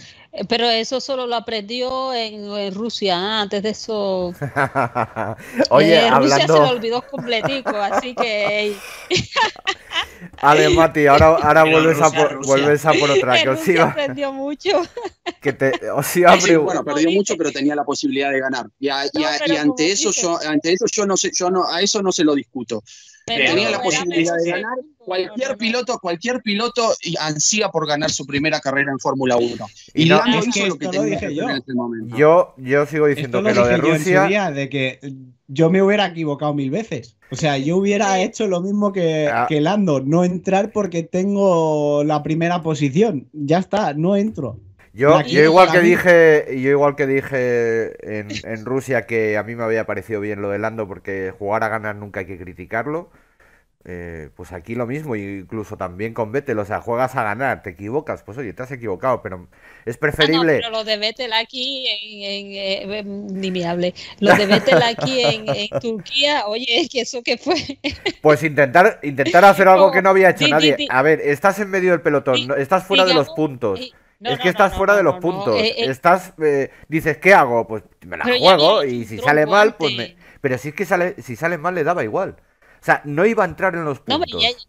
No, iba a entrar. Y dices, eh. bueno, pues si no voy a entrar en los puntos, voy a intentar hacer algo. Parece como que hay ciertas partes del circuito que están secas. Pues si hay ciertas eh, partes del circuito que están secas, pues lo intento. Lo intento, que me sale mal, pues oye, me ha salido mal, pero yo te digo una cosa, yo lo, vuelvo a decir. Cuando alguien se arriesga para ganar, yo creo que no es criticable. Otra cosa es eh, que, te, que, seas Hamilton y, te digas, bueno, estoy jugándome el mundial y tengo que medir los riesgos. Pero vete el que está perdido de la mano de Dios, ¿qué más le da? Si le da igual. Ponerse como si se hubiera puesto los neumáticos duros. Es que le daba igual. No iba a entrar en puntos, no iba a hacer nada y dijo, bueno chicos, pues me la juego y si me sale mal, pues me sale mal. No tengo nada a perder. Sí, pero aquí lo, lo criticable lo criticable es que para mí es, o sea, estabas haciendo y me hizo recordar los Minardi, sí, en la época de Minardi, cuando tú decías que nadie se atrevía, entonces tú estabas esperando a ver quién es el primero que va a, a, hacer a, ver cuándo lo hace Cristian sí, Albers. Sí, sí, a todo ver. el mundo esperaba a Cristian Albers, que era el primero que lo hacía. Sí, todo el mundo esperando cuándo llega, cuándo llega, a ver qué es lo que pasa. Y claro, cuando tú ves a Betel haciendo, tú dices, pero Dios mío, ¿qué, qué, qué, fue lo que se le pasó por la cabeza? Cuando ves pilotos que están, con, están teniendo gomas y piensan no parar, no parar y pues, terminar. Pues y, y, viene él. Y, Eso también es un poco culpa del equipo, ¿eh? No, no, no, no. No, no, no, no, Mati. no, no, Mati, Mati, Mati, Mati, no, no, no, no. Esta vez, eh, no, no, porque el propio Vettel lo ha dicho. Dijo que fue. Dilo, Fran, dilo, Sí, yo sé que me estás provocando toda la tarde con Vettel. Eh, no, Mati, que te digo que, que, fue Vettel, el propio Vettel dijo, es decisión mía, yo vi la ya, pista ya Lo sé, ya lo sé, Fran, pero la cuestión acá está en que Aston Martin estuvo todo el tiempo, todo el porque yo me, me dediqué a, a, mirar toda la carrera en la onboard de Vettel, y estuvo desde la vuelta 18 en adelante hasta que, hasta que pararon por, las, por los medios, estuvo todo el tiempo preguntándole si pensaba que, si pensaban que podían poner eh, si, que, slicks, si, si pensaban que podían, si eran medios o blandos, que si, si, si había un safety car, si iba, si, si, y si él, si paraban, si le ponían medios, si le ponían intermedios o, blandos. Eh, entonces eh. estuvo todo Aston Martin estuvo todo, toda la carrera, toda la carrera diciéndole slips, slips, slips, slips. Y, y, y Vettel ve que se ve que se está, eh, se está secando la pista. En el, en el box tienen las condiciones meteorológicas, saben cuándo, saben, saben si, se, si va a seguir la lluvia o si no, si se va a secar o no. Entonces te dan todas esas cuestiones y decís, bueno, vamos a probar, total, no tengo nada para, para perder. Y en ese momento estábamos de decimocuarto. ¿Qué más querés? Mati, Mati, tú no eras, tú no eras el que decía... Slicks en Ocon. De sí, pero... Slicks. Sí, pero eh, eh, sí, efectivamente. Bueno, los hizo con, pero. Eh, los, hizo, con los hizo, claro. pero te miró. Pero Mati, eh, eh, tú no eras el que decía, ¿cómo, cómo era que decía la carrera pasada que, que por qué no obligaron a parar a, a Norris? Tú decías que, que, que, bueno, que él es el que está en la pista, que el equipo no puede hacer nada, que eh, obviamente tú le estás preguntando al piloto el que está en la pista y que sabe si se va sí, pero a son, pero son, pilotos, pero son pilotos ah, diferentes. Son, ah, son, son pilotos diferentes. Vettel, Vettel, siempre, siempre, siempre está hablando con el equipo. Y, si, y Vettel siempre, siempre decide las cosas junto con el equipo. Y si el equipo está constantemente diciéndote, podrías parar por blandas, podrías parar por, por medios, podrías parar por slicks, se está secando, podrías. ¿qué, ¿Qué te da para pensar a vos? Que estás arriba del auto que estás manejando y que encima tenés que estar pensando en si tenés que poner o no o no slicks. No, no, y no. el equipo está todo el tiempo, todo el tiempo diciéndote slicks, slicks, slicks, slicks. Terminas diciendo, bueno, vamos a probar, total, estamos fuera de los puntos. ¿Qué, pero qué, cuál, es la, cuál, cuál es el problema? Ya está. Adrián, tu, tu experiencia de piloto Eh, ¿Quién es el que sabe más cómo está la rueda? ¿El equipo que te está preguntando o tú que estás conduciendo? El que está pilotando, 100%. Bueno, aquí, aquí lo que no entiendo, aquí lo que no entiendo es que le pusieran medios en vez de blandos. Eh, sí, eso yo, tampoco, eso yo, tampoco lo entendí. no sé, no sé entiendo que con el frío que hacía, el blando funcionaría mucho mejor porque tiene una temperatura de calentamiento mucho más baja, con lo cual... Sí, pero faltaban muchas vueltas y se iba a degradar mucho más, mucho más rápido. Sí, pero estando la pista tan fría no degrada tanto como a 50 grados, para hacernos una idea. La, pista, la pista estaba a unos 21 grados. De todas maneras. Con lo cual, el blando lo puedes alargar eh, unas 6 vueltas, 7 más de lo, de lo que podrías hacer con una pista a 38 grados. yo, 38 lo, yo, lo, vuelvo a decir. Ya es una pista fría, ¿eh? Adrián, yo lo vuelvo a decir. Tomó una decisión, se equivocó y ya está. Lo, bacana no para de meterme el dedo porque sabe que me cabrea lo de, lo de Vettel y entonces está ahí puenteándome ahí, puteándome a ver si a ver si me hace cabrear, pero que no, que ya está, que es decisión de Vettel. Se equivocó, pues se equivocó, ya está, si tampoco ¿Sabes? O sea, de perdidos al río, como se suele decir. Y vamos a hablar porque yo quiero hablar de Ferrari. Yo quiero hablar de Ferrari, que a ver, por una vez tuvimos, una, tuvimos una carrera, yo qué sé, tuvimos una carrera bien, eh, Harry Potter no ha venido. Porque no estaba Binotto. Eh, ahí, Harry Potter estaba en la fábrica. No estaba en la carrera. Hombre, es que yo... El muro estaba en paz. Yo, yo ponía en el grupo de WhatsApp que era eh, que es el, el, roncero de la Fórmula 1. O sea, el tío más gafe que he visto en mi vida. O sea, quédate en la fábrica, no vayas a ningún circuito, porque las veces que no ha ido a los circuitos, Ferrari ha tenido. No, no hemos ganado, pero hemos tenido carreras sin problemas, todo tranquilo. El carrerón de Carlos Sainz, que por cierto, poco se está hablando de la temporada que lleva Carlos Sainz. Yo lo dije al principio de temporada, que sí, que en clasificación en el enfrentamiento uno contra uno contra Leclerc no tenía nada que hacer, ahí están los números, no tiene nada que hacer, pero que en carrera, que tuviera mucho cuidado Leclerc, porque Leclerc, como decía antes Mati, eh, lo de gestionar los neumáticos como que no, es muy rápido, pero como que no es lo suyo. Y saber leer las carreras, eh, pues parece que de momento Carlos Sainz lo está haciendo mejor. Y yo creo que es, es, es de justicia decirlo. Ya sé que Carlos Sainz el problema que tiene es el mismo que tiene que tuvo Fernando Alonso al principio, que tiene mucha gente detrás que, que, le ciega la pasión y que llegan a decir auténticas andeces, pero eh, con el trabajo que está haciendo este año, Binotto, a ver lo que ha preparado ahora, este, la madre que lo parió. Binotto... Ah, Binotto dimisión, eso, eso lo he dicho yo desde que, desde que lo nombraron jefe de Ferrari. Eh, este lo voy a dejar un buen rato, ¿eh? vale. Que, te, que os digo. Hasta que eh, me canse el brazo. Carlos Sainz lleva este año tres podiums. Está siendo bastante regular. Bastante, bastante regular. Y de hecho, bueno, quitando esta carrera que, que, Leclerc ha terminado cuarto, le ha recortado unos cuantos puntos, pero sigue por delante de Leclerc en el campeonato. Entonces, Ana María, yo creo que hay que reconocerle a Carlos Sainz, piloto del día, por cierto, de esta carrera de Turquía. Y, la verdad es que remontando desde atrás, porque si no me equivoco, Carlos salía el 19. Salía de. 19 o 20. No, el último no, el último era. No, el último era Richie. No, 18 y 19. Yo no, estoy seguro ahora si era el 19. Pero salía 19 y, y, llegas al final en carrera, que te plantas octavo, sumas puntitos para el equipo y luego la carrera de Charles Leclerc eh, es otro piloto al que también dudo bastante antes de cambiar los neumáticos, pero que tampoco se le... Yo sigo diciéndolo, eh, lo mismo que dije con Norris en Rusia, lo mismo que he dicho con Vettel hoy, y, se aplica también a Charles Leclerc. Si intentas ganar, eh, chico, bienvenidos los valientes. Estamos pidiendo todo, todas las carreras. Ana, estamos pidiendo todas las carreras que haya alguien que intente algo diferente, que se arriesguen, que tal. Y cuando lo hacen y se equivocan, los machacamos.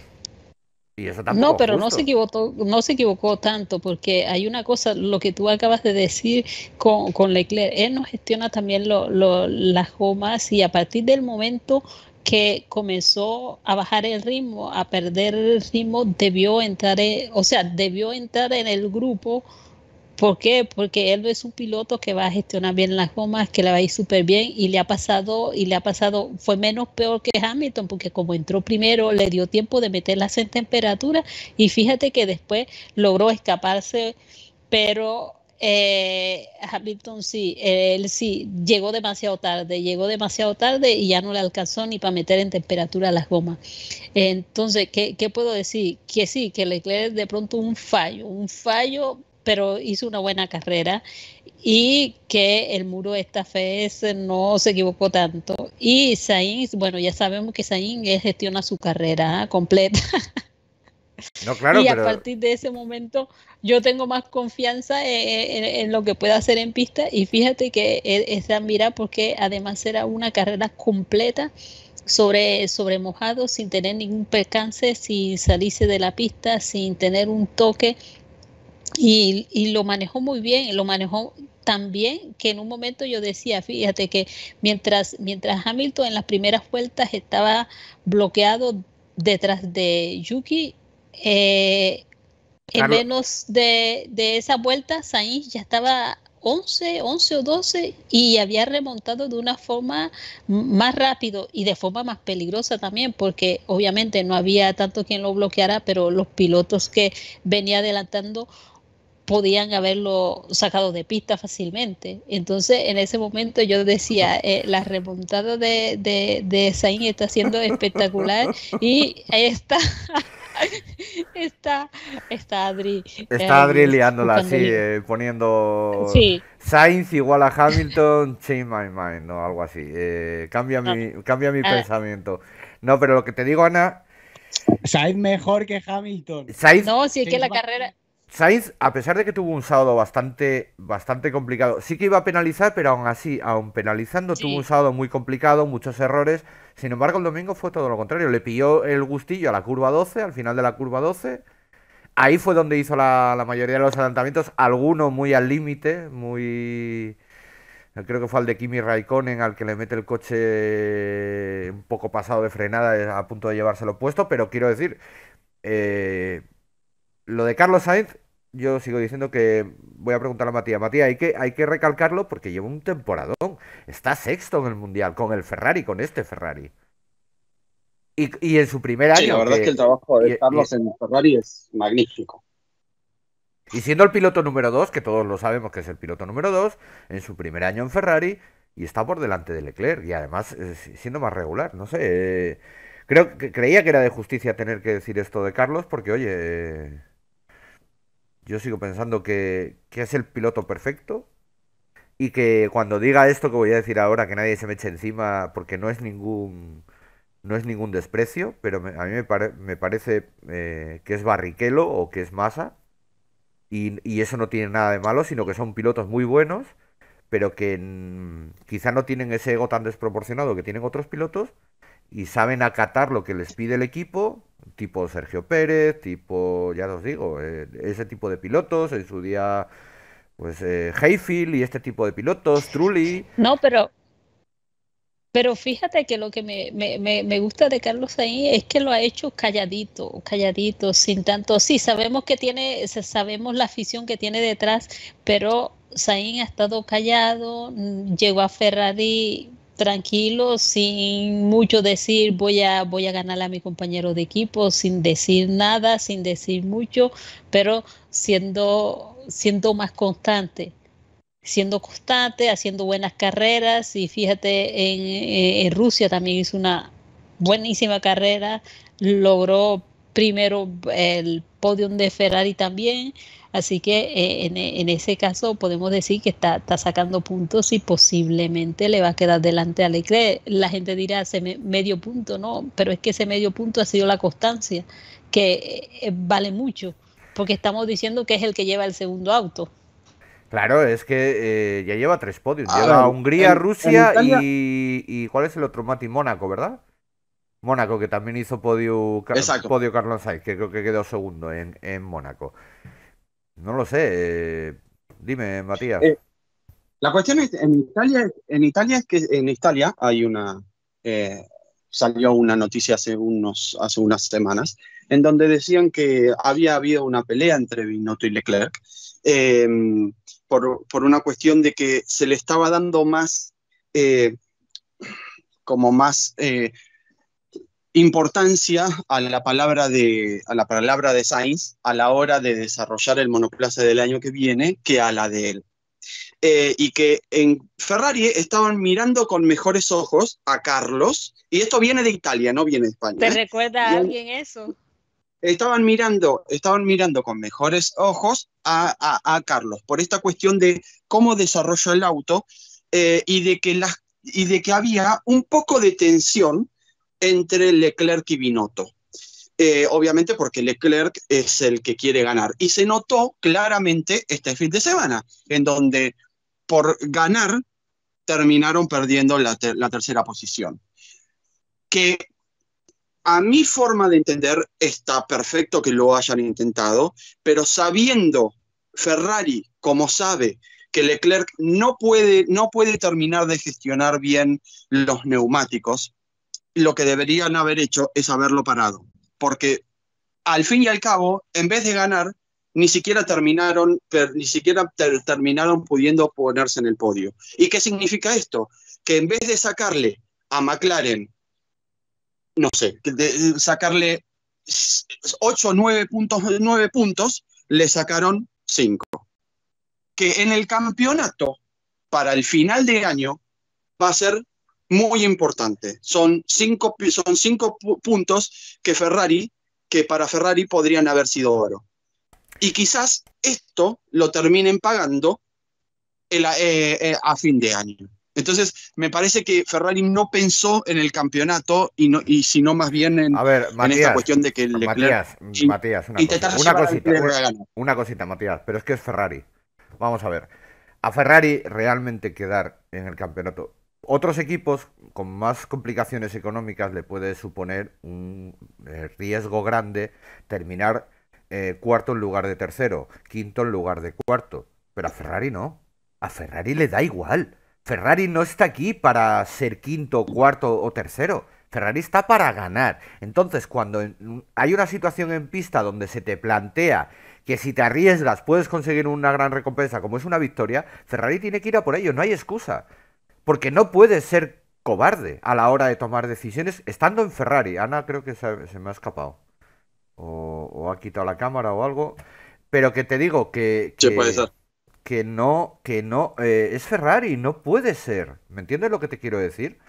No puede ser que, que, Ferrari esté pendiente de a ver si consigue tres puntos más para pelear el campeonato, para ser tercero de constructores con McLaren. Ferrari no está ahí para eso. Ferrari está para ganar. No, no está ahí para eso, Fran, pero, y, y el, pero Ferrari pero quedar tercero o cuarto le da el año igual. pasado sabiendo que no iban a, que no iban a poder pelear por ni siquiera por los podios. En donde, entonces, eh, si vos tenés la posibilidad de tener un podio, eh, de tener un podio con el piloto que supuestamente es el número uno, eh, me parece que, que y, y, y, sabiendo que tenés, podés pelear eh, realmente, por, realmente por la tercera posición, por más que no les importe, sí que les importa, porque el dinero eh, eh, importa. Entonces, me parece acá, me parece no, acá no, que no, no, la cuestión eh, está, Mati, está, no, está, bien, que Ferrari... Ma escúchame, Mati, escúchame. Mati, no, te equivoques. Ferrari... A Ferrari le da, eh, en, este, en esta situación, a Ferrari le da igual el dinero. Quiero decir, Ferrari no es, con todo mi respeto, no es otro equipo, no es McLaren que ahora tiene está más ajustado de dinero, no es Williams que tiene problemas económicos, no es Haas que no tiene un duro, no, es Ferrari. Ferrari se puede permitir ciertos lujos como Mercedes, porque Mercedes está en la misma situación. Mercedes, por ejemplo, a día de hoy, Mercedes, eh, Red Bull y Ferrari se pueden permitir lujos que otros equipos no se pueden permitir, porque en el fondo, en el fondo, el dinero les es indiferente, les, les llena más el prestigio de una victoria a costa de perder a la siguiente. Imagínate que por esa victoria acaban perdiendo en las siguientes tres carreras, haciendo tres carreras malas. Les da igual porque ya han conseguido esa victoria que están buscando. Porque son Ferrari. En la misma situación que Ferrari está Mercedes o Red Bull y hacen exactamente lo mismo, porque no dependen tanto del dinero que les pueda generar el quedar tercero o cuarto en el campeonato de constructores o, o, otro tipo de premios que puedan generar eh, eh, y que les dé la, la, FIA a final de año. ¿Me entiendes lo que te quiero decir? Entonces Ferrari tiene que ir a ganar siempre que se le plantee la mínima oportunidad. Siempre, porque como no lo hagas, no vuelvas a casa porque te van a correr a gorrazos ahí en Italia. ¿Me entiendes lo que te quiero decir? Entonces, eh, Sí, chico, sí. ¿te has arriesgado? Pues no te ha salido. Pues oye, pues no te ha salido, no pasa nada.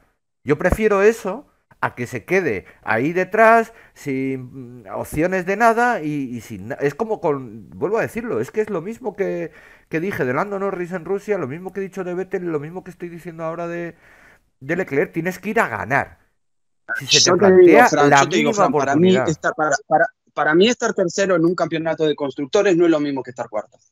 ¿Qué querés que te Eh, diga? para Eh, Ferrari para Ferrari eh, es la estando nah, tercero que nah. estando cuarto. Para Ferrari es la misma vergüenza estar segundo, tercero que cuarto. La misma. Te lo digo yo.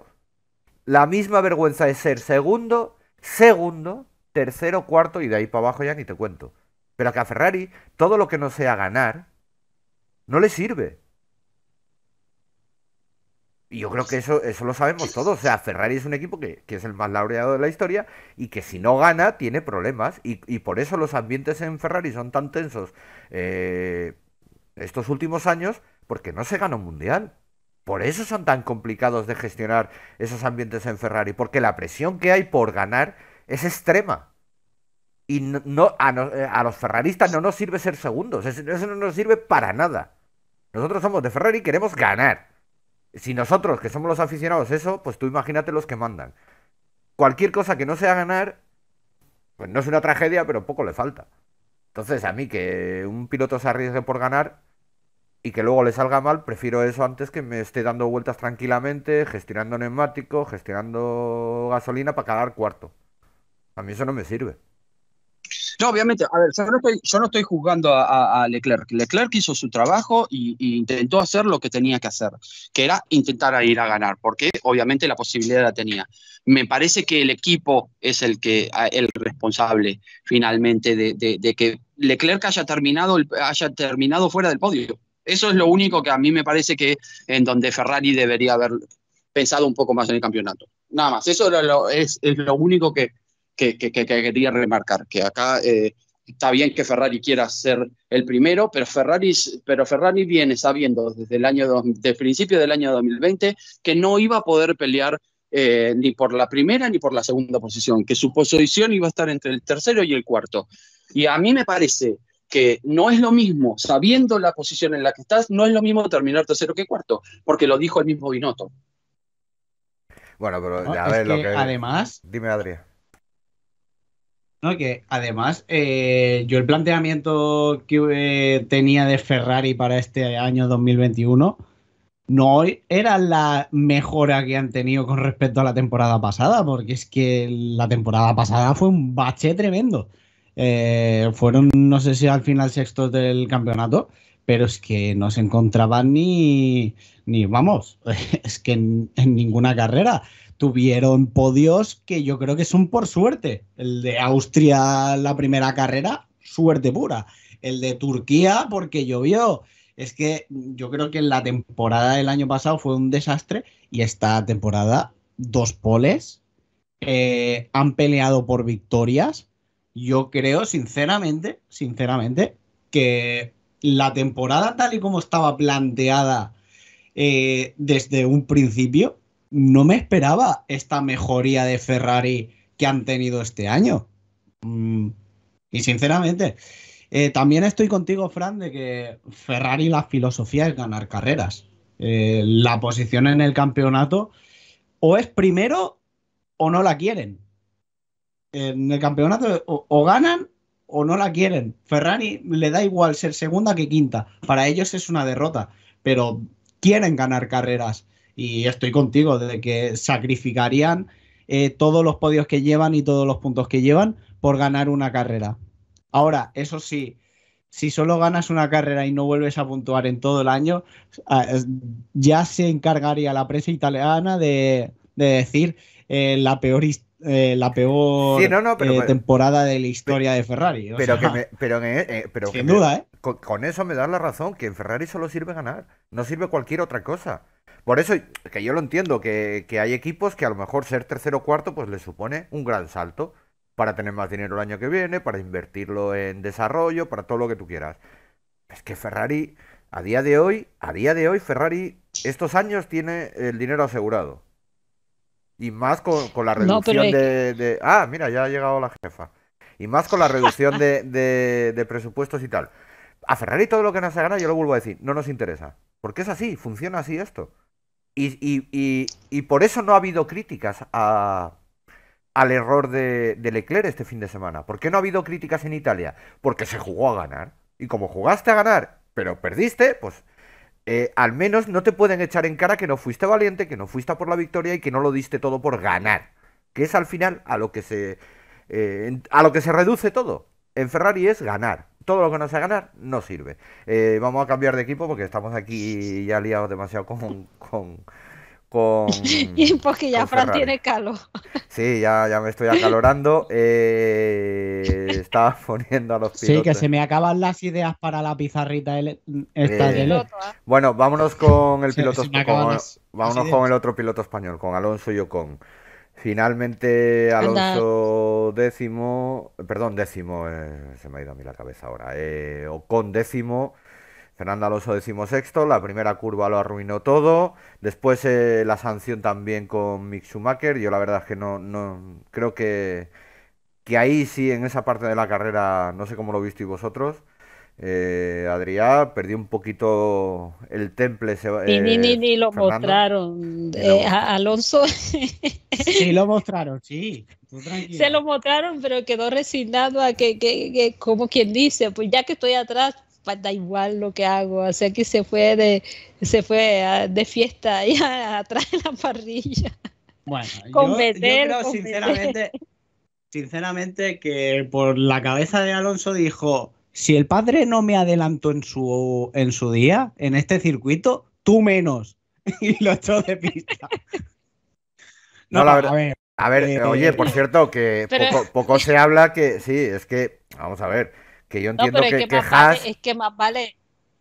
no, que te iba a po- decir que yo entiendo que mira, yo Haas, me pongo, yo me pongo, dime, dime.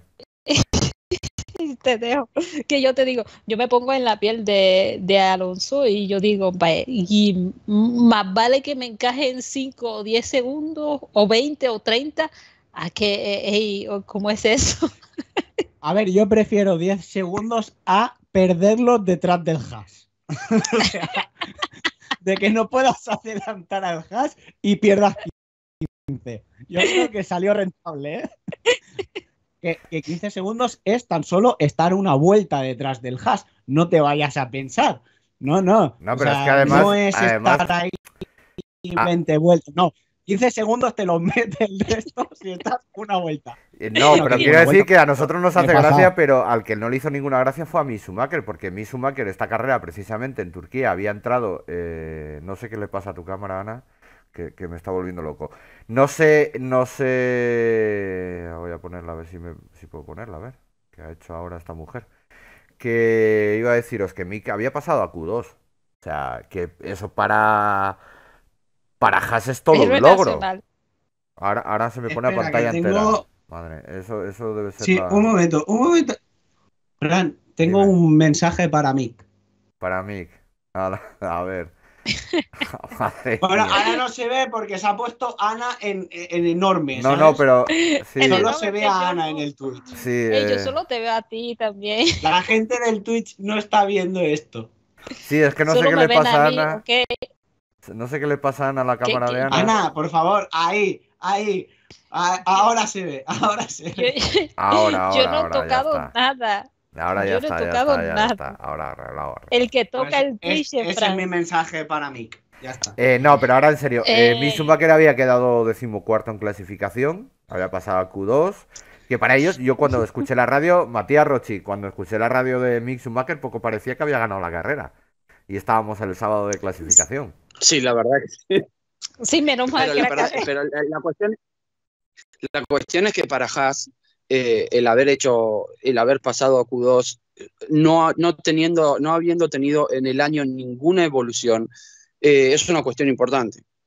Porque está bien, supieron aprovechar, eh, supieron aprovechar todo, pero el, el hecho de que de haber terminado como terminaron fue eh, muy importante. Entonces, me parece que el, quizás si, si, si Alonso no lo hubiera tocado a mí, que hubiera hecho, al, al, hubiera podido estar algo mejor, quizás, uno nunca sabe. Eh, eh, fue una carrera demasiado loca, entonces también podría haber pasado mil cosas. Pero eh, la verdad es que el trabajo de Mick fue muy bueno y, y para, para, para, un monoplaza que no fue evolucionado en todo el año y que, y que va a terminar siendo eh, no evolucionado en todo el año es, fue una cuestión importante. Por eso me parece que todo el equipo festejó como festejó. No, le dieron el motor, no le dieron motor nuevo de Ferrari este que anda rápido.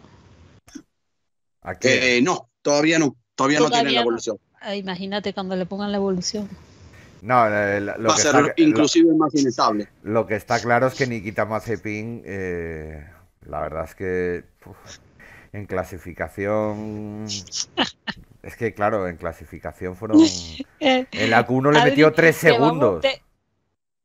3 segundos le metió su máquina a Mazepin. 3 segundos a tu compañero de equipo en clasificación.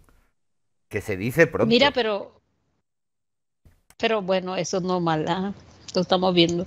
Pero hay una cosita que, que, no sé si ustedes la vieron, cómo se divertía Mazepin delante de Hamilton, que Hamilton con, eh, no sé qué era lo que le pasaba, o con las ruedas gastadas o con las ruedas nuevas, ya no me acuerdo, eh, ponían bandera azul y pasaba a los dos as y después había Mazepin desesperado que se le ponía de nuevo delante. Eh, sí, situación lo, lo de Mazepin es un poco difícil de jugar, la verdad. No, pero yo digo que un piloto, si, si tiene la buena velocidad, pues, pues yo pienso que debe tener, bueno, en teoría puede quedarse delante si está peleando una posición, pero, pero, pero esto debió de cosas. no, pero es que Adri me va a hacer leer toda la... la, la, sí, Adri, Adri, hoy, Adri hoy está con la, con la pantallita Mira. Pero a ver, la, la, pizarrita la podéis leer cuando acabéis el speech, tranquilamente. Si luego lo vais a tener en YouTube. No, pero es que. Vosotros cuando estéis hablando, eh, hablad tranquilamente, estamos en un podcast. Pero, pero Dejarme a mí con mi pizarrita. Si es para la audiencia. para que luego la gente de, Spotify se vaya al YouTube a ver qué es lo que yo ponía. A ver qué fue lo que puse. No lean la pizarrita.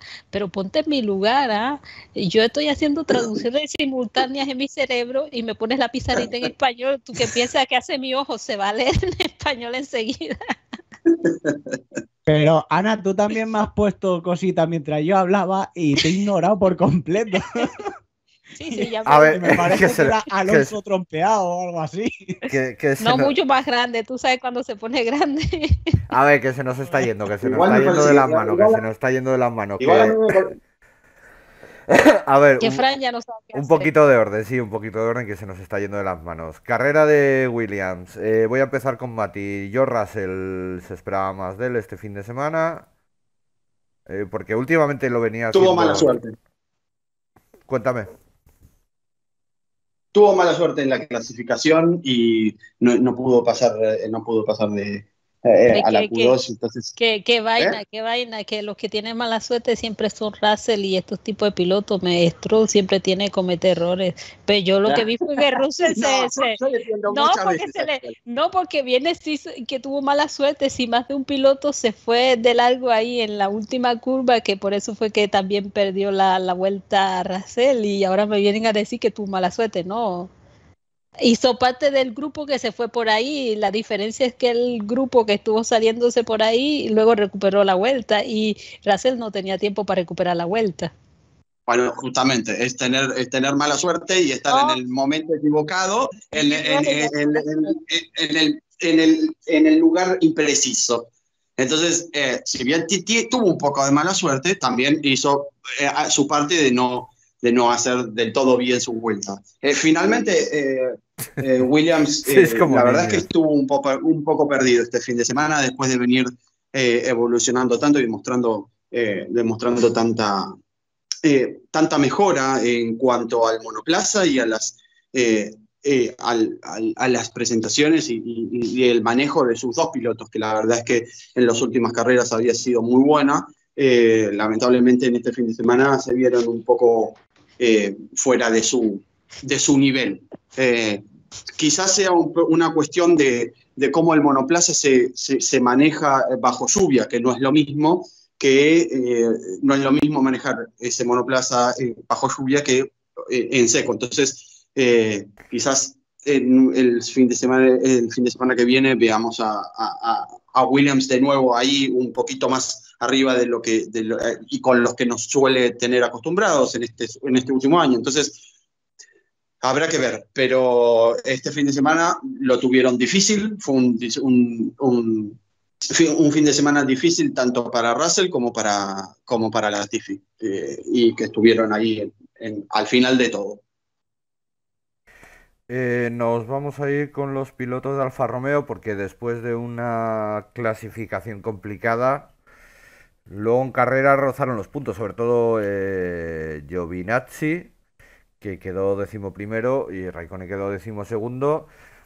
Eh, Alfa Romeo es un equipo, yo no sé cómo llamarlo, eh, un poco extraño, Adrián, porque son capaces de, hacer unas grandes carreras como, como esta de Turquía, saliendo desde atrás del todo a hacer carreras donde no son capaces de pasar del 17. O sea, es un equipo que, que depende mucho del circuito. O sea, no es un coche balanceado, no es un coche que esté bien desarrollado. Eh, sí es rápido en recta, pero poco más. A mí lo que me parece curioso es eh, que veamos a Alfa Romeo un buen fin de semana, los dos pilotos, eh, que eso es difícil de ver en Alfa Romeo, porque cuando no tiene algún problema Giovinazzi lo tiene Kimi, pero eh, un fin de semana donde salen atrás, porque Giovinazzi no sé si llegó a encadenar tres Q3 consecutivas o algo así, y luego al final nada de nada. Y justo cuando están atrás en parrilla, que piensas, bueno, aquí no tienen nada que hacer, eh, te encuentras un, un Alfa Romeo de que está bien, no vamos a decir fuertes, pero que Giovinazzi no puntúa porque al final eh, aguantó Ocon. No, no. Si eh, Ocon no, no, eh, Da pero, una pero vuelta eso más al circuito, eh, puntúa Giovinazzi. Eh, Pero no, no, al revés, no, es a donde yo quería ir ahora, porque Antonio Giovinazzi lo que hace es saltarse las órdenes de equipo. Porque se pone a rodar en, en uno, creo que es 1.35 alto, venía Mimi, eh, pe- perdón, venía Kimi muchísimo más rápido, como 3 segundos más rápido, y le, y le dan la orden de dejar pasar a Kimi, intercambiar posiciones para poder adelantar eh, a, a Ocon, y Giovinazzi se niega. Yo no sé hasta Yo qué creo que tam- también ahí ah, también ahí viene un poquito de rencorcito por- porque Sí, Giovinazzi hombre, pero- sabe que no va a continuar la, Claro, la por eso- siguiente temporada. Sí, es- Yo creo que ahí ya te pones a decir, eh, no, no, perdona, o sea, yo ya corro por mí. Eh, cuando no sabes sabe. que tu asiento eh, ya lo has perdido, dices, no, yo ¿Tú ya sabes? corro por mí.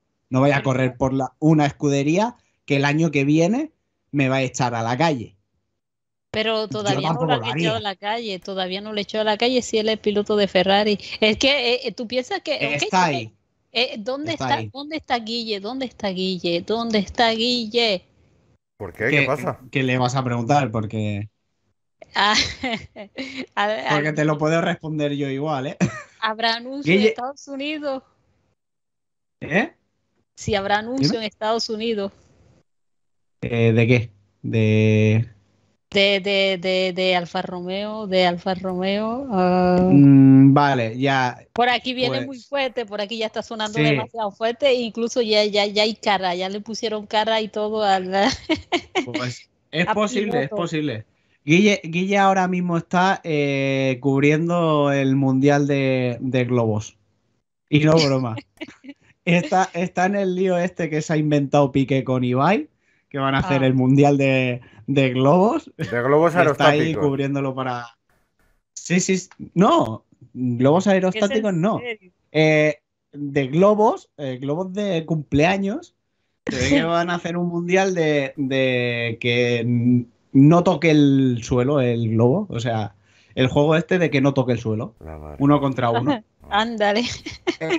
Pero es una movida, es una movida que es, brutal. Pero bueno, eh, Guille está ahí eh, cubriéndolo para el diario de Tarragona. Así que, porque como lo van a hacer en Portaventura, pues la ha tocado. Eh, por eso no lo tenemos. Pero la semana que viene seguro que nos despeja las dudas. Tú la semana que viene prepárate las preguntitas que, despeja todas las Eso, eso, que sea justo antes de que hagan el anuncio. Bueno, se nos tiene que ir la jefa, Ana María. Muchas gracias. Los dejo, sí, sí. Y no, se les olvide Spa, no se les olvide Spa. Spa, no, no, ahora lo tenemos que hablar. No, es lo siguiente ya, porque ya hemos terminado prácticamente con todos los equipos. Y Listo. Hasta la próxima, Ana, gracias. Hasta la próxima, bye. Adiós, Ana. Y nos vamos con lo que precisamente ha dicho Ana, porque claro, eh, Spa, eh, la remodelación es, a ver, que alguien me lo, creo que va a ser Adrián Santos el que me lo va a explicar, porque, a ver, Adrián, esto viene por la, por MotoGP.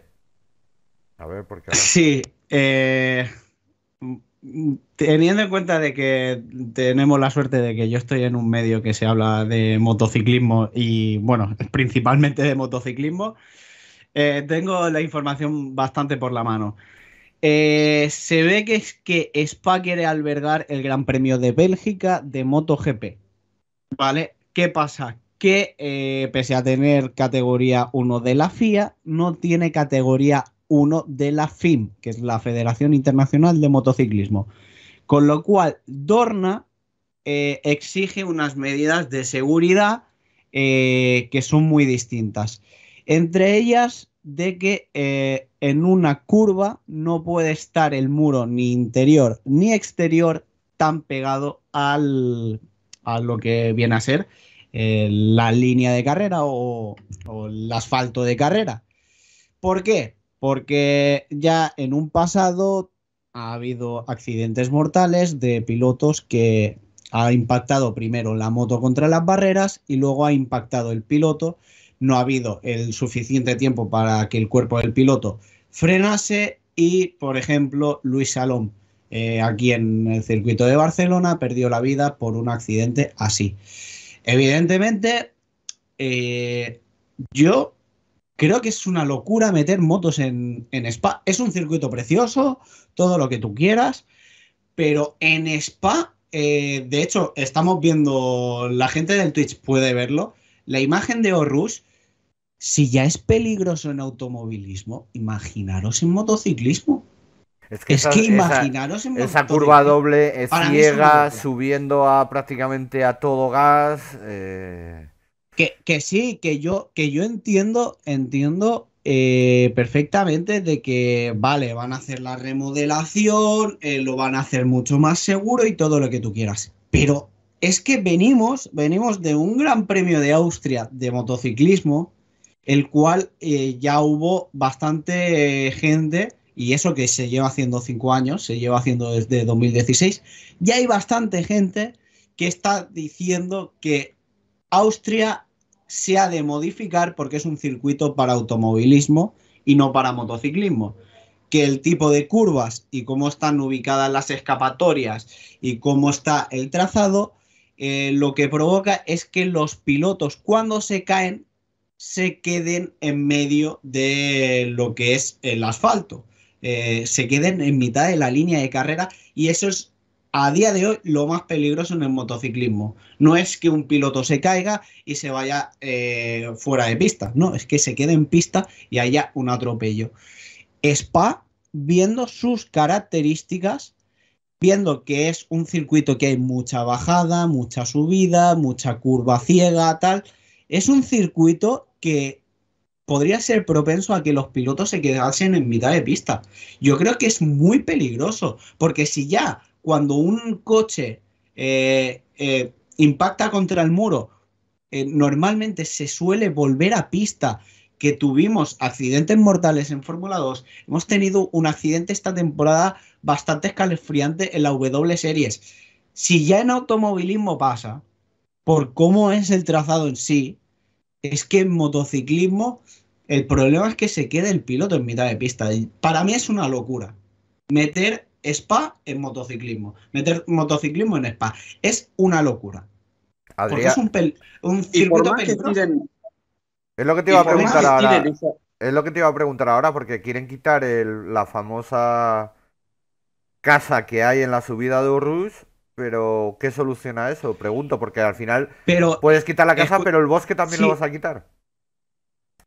Sí, pero Es que ya aquí, aquí la aquí la cuestión es, imagínate, un piloto eh, pierde completamente en la moto de atrás, hace un dry sack que se le llama y se cae cayendo justo en pista. Eh, justo en la subida de Orush arriba de todo. Eso es un punto ciego.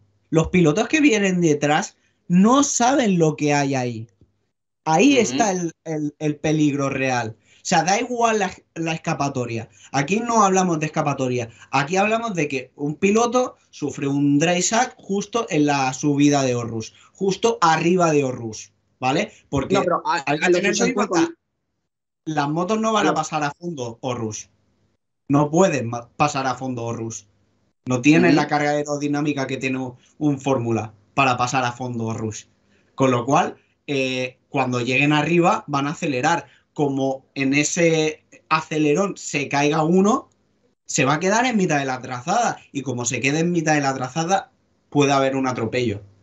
Y Pero aquí- yo lo que, yo lo que decía en cuanto, en cuanto a este ampliamiento de la zona de escapatoria esa, que supongamos que sea una buena cosa para, para el MotoGP, si uno de los pilotos se cae, si uno de los pilotos se cae, se cae en el, se cae subiendo a, subiendo a Orush, el- la forma que tiene la curva, con esa, con esa, con esa escapatoria, no hace nada, porque sigue derecho y, no, y, y termina en, en el medio del circuito, como vos decís. Entonces, de hacer esa escapatoria tan gigante, no les va a servir de nada por cómo es la curva, por, por el trayecto que hace la curva. Exacto, donde es se que- tendría que hacer ese estiramiento es en la parte de abajo, no en la parte de arriba. En la parte de arriba eso no sirve. Exacto. Exacto. Eh, y no solo eso, o sea, es que es que da igual eh, que hagas un estiramiento, eh, que pongas la escapatoria como te dé la gana.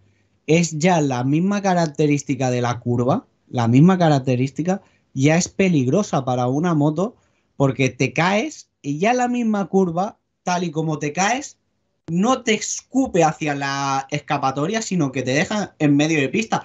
¿Qué es lo que pasa, en la, por ejemplo, en la curva 3 de, de Austria? La curva de 3 de Austria, la escapatoria es inmensa. No lo vamos a negar, lo hemos visto todos. La escapatoria es inmensa. Pero tú cuando te caes, cuando abres gas y te caes, ¿vale? Te quedas en mitad de la trazada. ¿Qué ha pasado este año?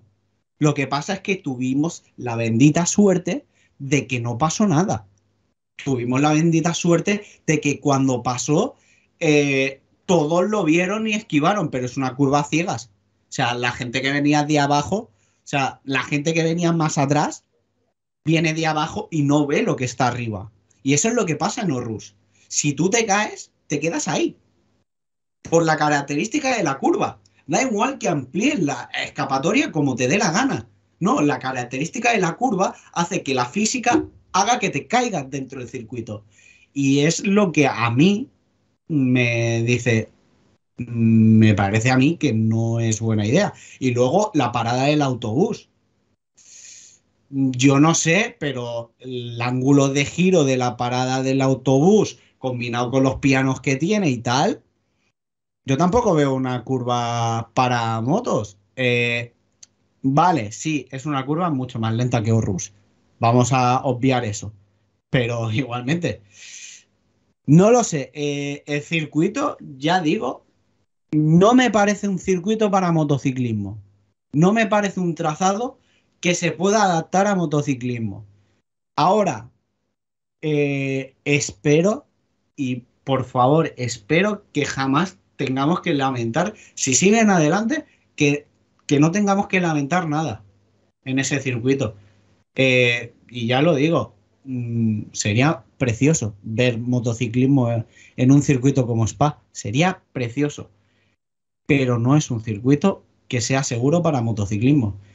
Y de verdad, derruir algo como la casa del Radillón eh, por, por un evento que no va a ser seguro, pues no lo sé. De, si la hubieran demolido después del accidente que tuvo, por ejemplo, Jakaiken o el accidente que tuvo Pietro Fittipaldi en su día, yo lo hubiera entendido. De que ampliasen la escapatoria, porque, a ver, eh, Pietro Fittipaldi tuvo un accidente muy serio. Que lo hubieran eh, ampliado después de lo de Hubert. Hemos tenido accidentes muy graves ahí y no se han planteado el ampliarlo, pero que lo amplíen por todavía generar más peligro en el circuito, pues no lo sé. Eh, yo estoy completamente en contra de que se corra en Spa motociclismo, sinceramente. Eh, Adrián, ¿tenías algo de la F4? Porque nos estamos quedando sin tiempo, quedan tres minutos y poco.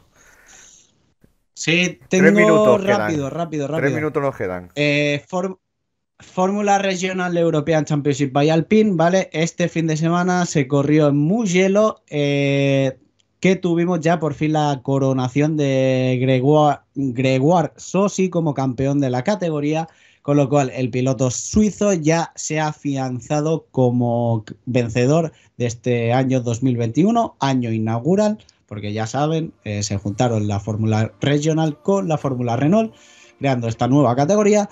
Eh, fin de semana que dominó eh, Paul Laron del equipo Prema, dos victorias, sus primeras dos victorias de la temporada. Prema no ganaba desde la primera carrera que ganó David Vidales y no hacía podio desde el año pasado en la Fórmula Regional. hizo doble podio tanto en la primera con primero Polaron y tercero David Vidales como en la segunda que hizo doblete con eh, primero Polaron y segundo Dino Veganovic, que completó el primer doblete de la temporada para el equipo Prema. Eh, por lo que respecta al resto de españoles, eh, Lorenzo Fluxa sigue perdido por la parte de atrás y Mariboya salió cuarto en la primera carrera, cometió él un error, se llevó por delante a Dino Veganovic luchando por la tercera posición en la salida y fuera de carrera. La segunda carrera clasificó quinto, pero una sanción eh, le provocó de que saliera noveno y al final fue duodécimo en carrera. Eh, una, lástima porque en aquella clasificación que iba para hacer pole, eh, al final consiguió quinto, que es el iba en morado para hacer pole pero una bandera amarilla en la última curva le provocó de que no pudiesen mejorar su tiempo y al final fue quinto y como digo luego eh, fue sancionado hasta noveno. Así que eh, este ha sido el repasito rápido a la freca. Eh, ya nos queda solo Monza a final de mes. El día 30, si no recuerdo mal, empieza ya la última carrera de la freca que va a ser lo siguiente que os cuente de categorías inferiores, porque no hay nada más hasta entonces. Así que hasta dentro de dos semanas no me vuelvas a preguntar, Fran. Muy bien, pues muchísimas gracias a todos, Adrián, a Matías, a Ana María, que ya no está, que se ha ido antes, a todos los componentes de Bandera Azul. Por supuesto, muchas gracias a todos los que estáis al otro lado, tanto en Twitch, tanto en Bicu Radio, en diámetro.org o mañana cuando lo veáis repetido en YouTube. Eh, lo dicho, yo soy Fran Paramio, como siempre ha sido un placer. Un saludo y hasta la semana que viene.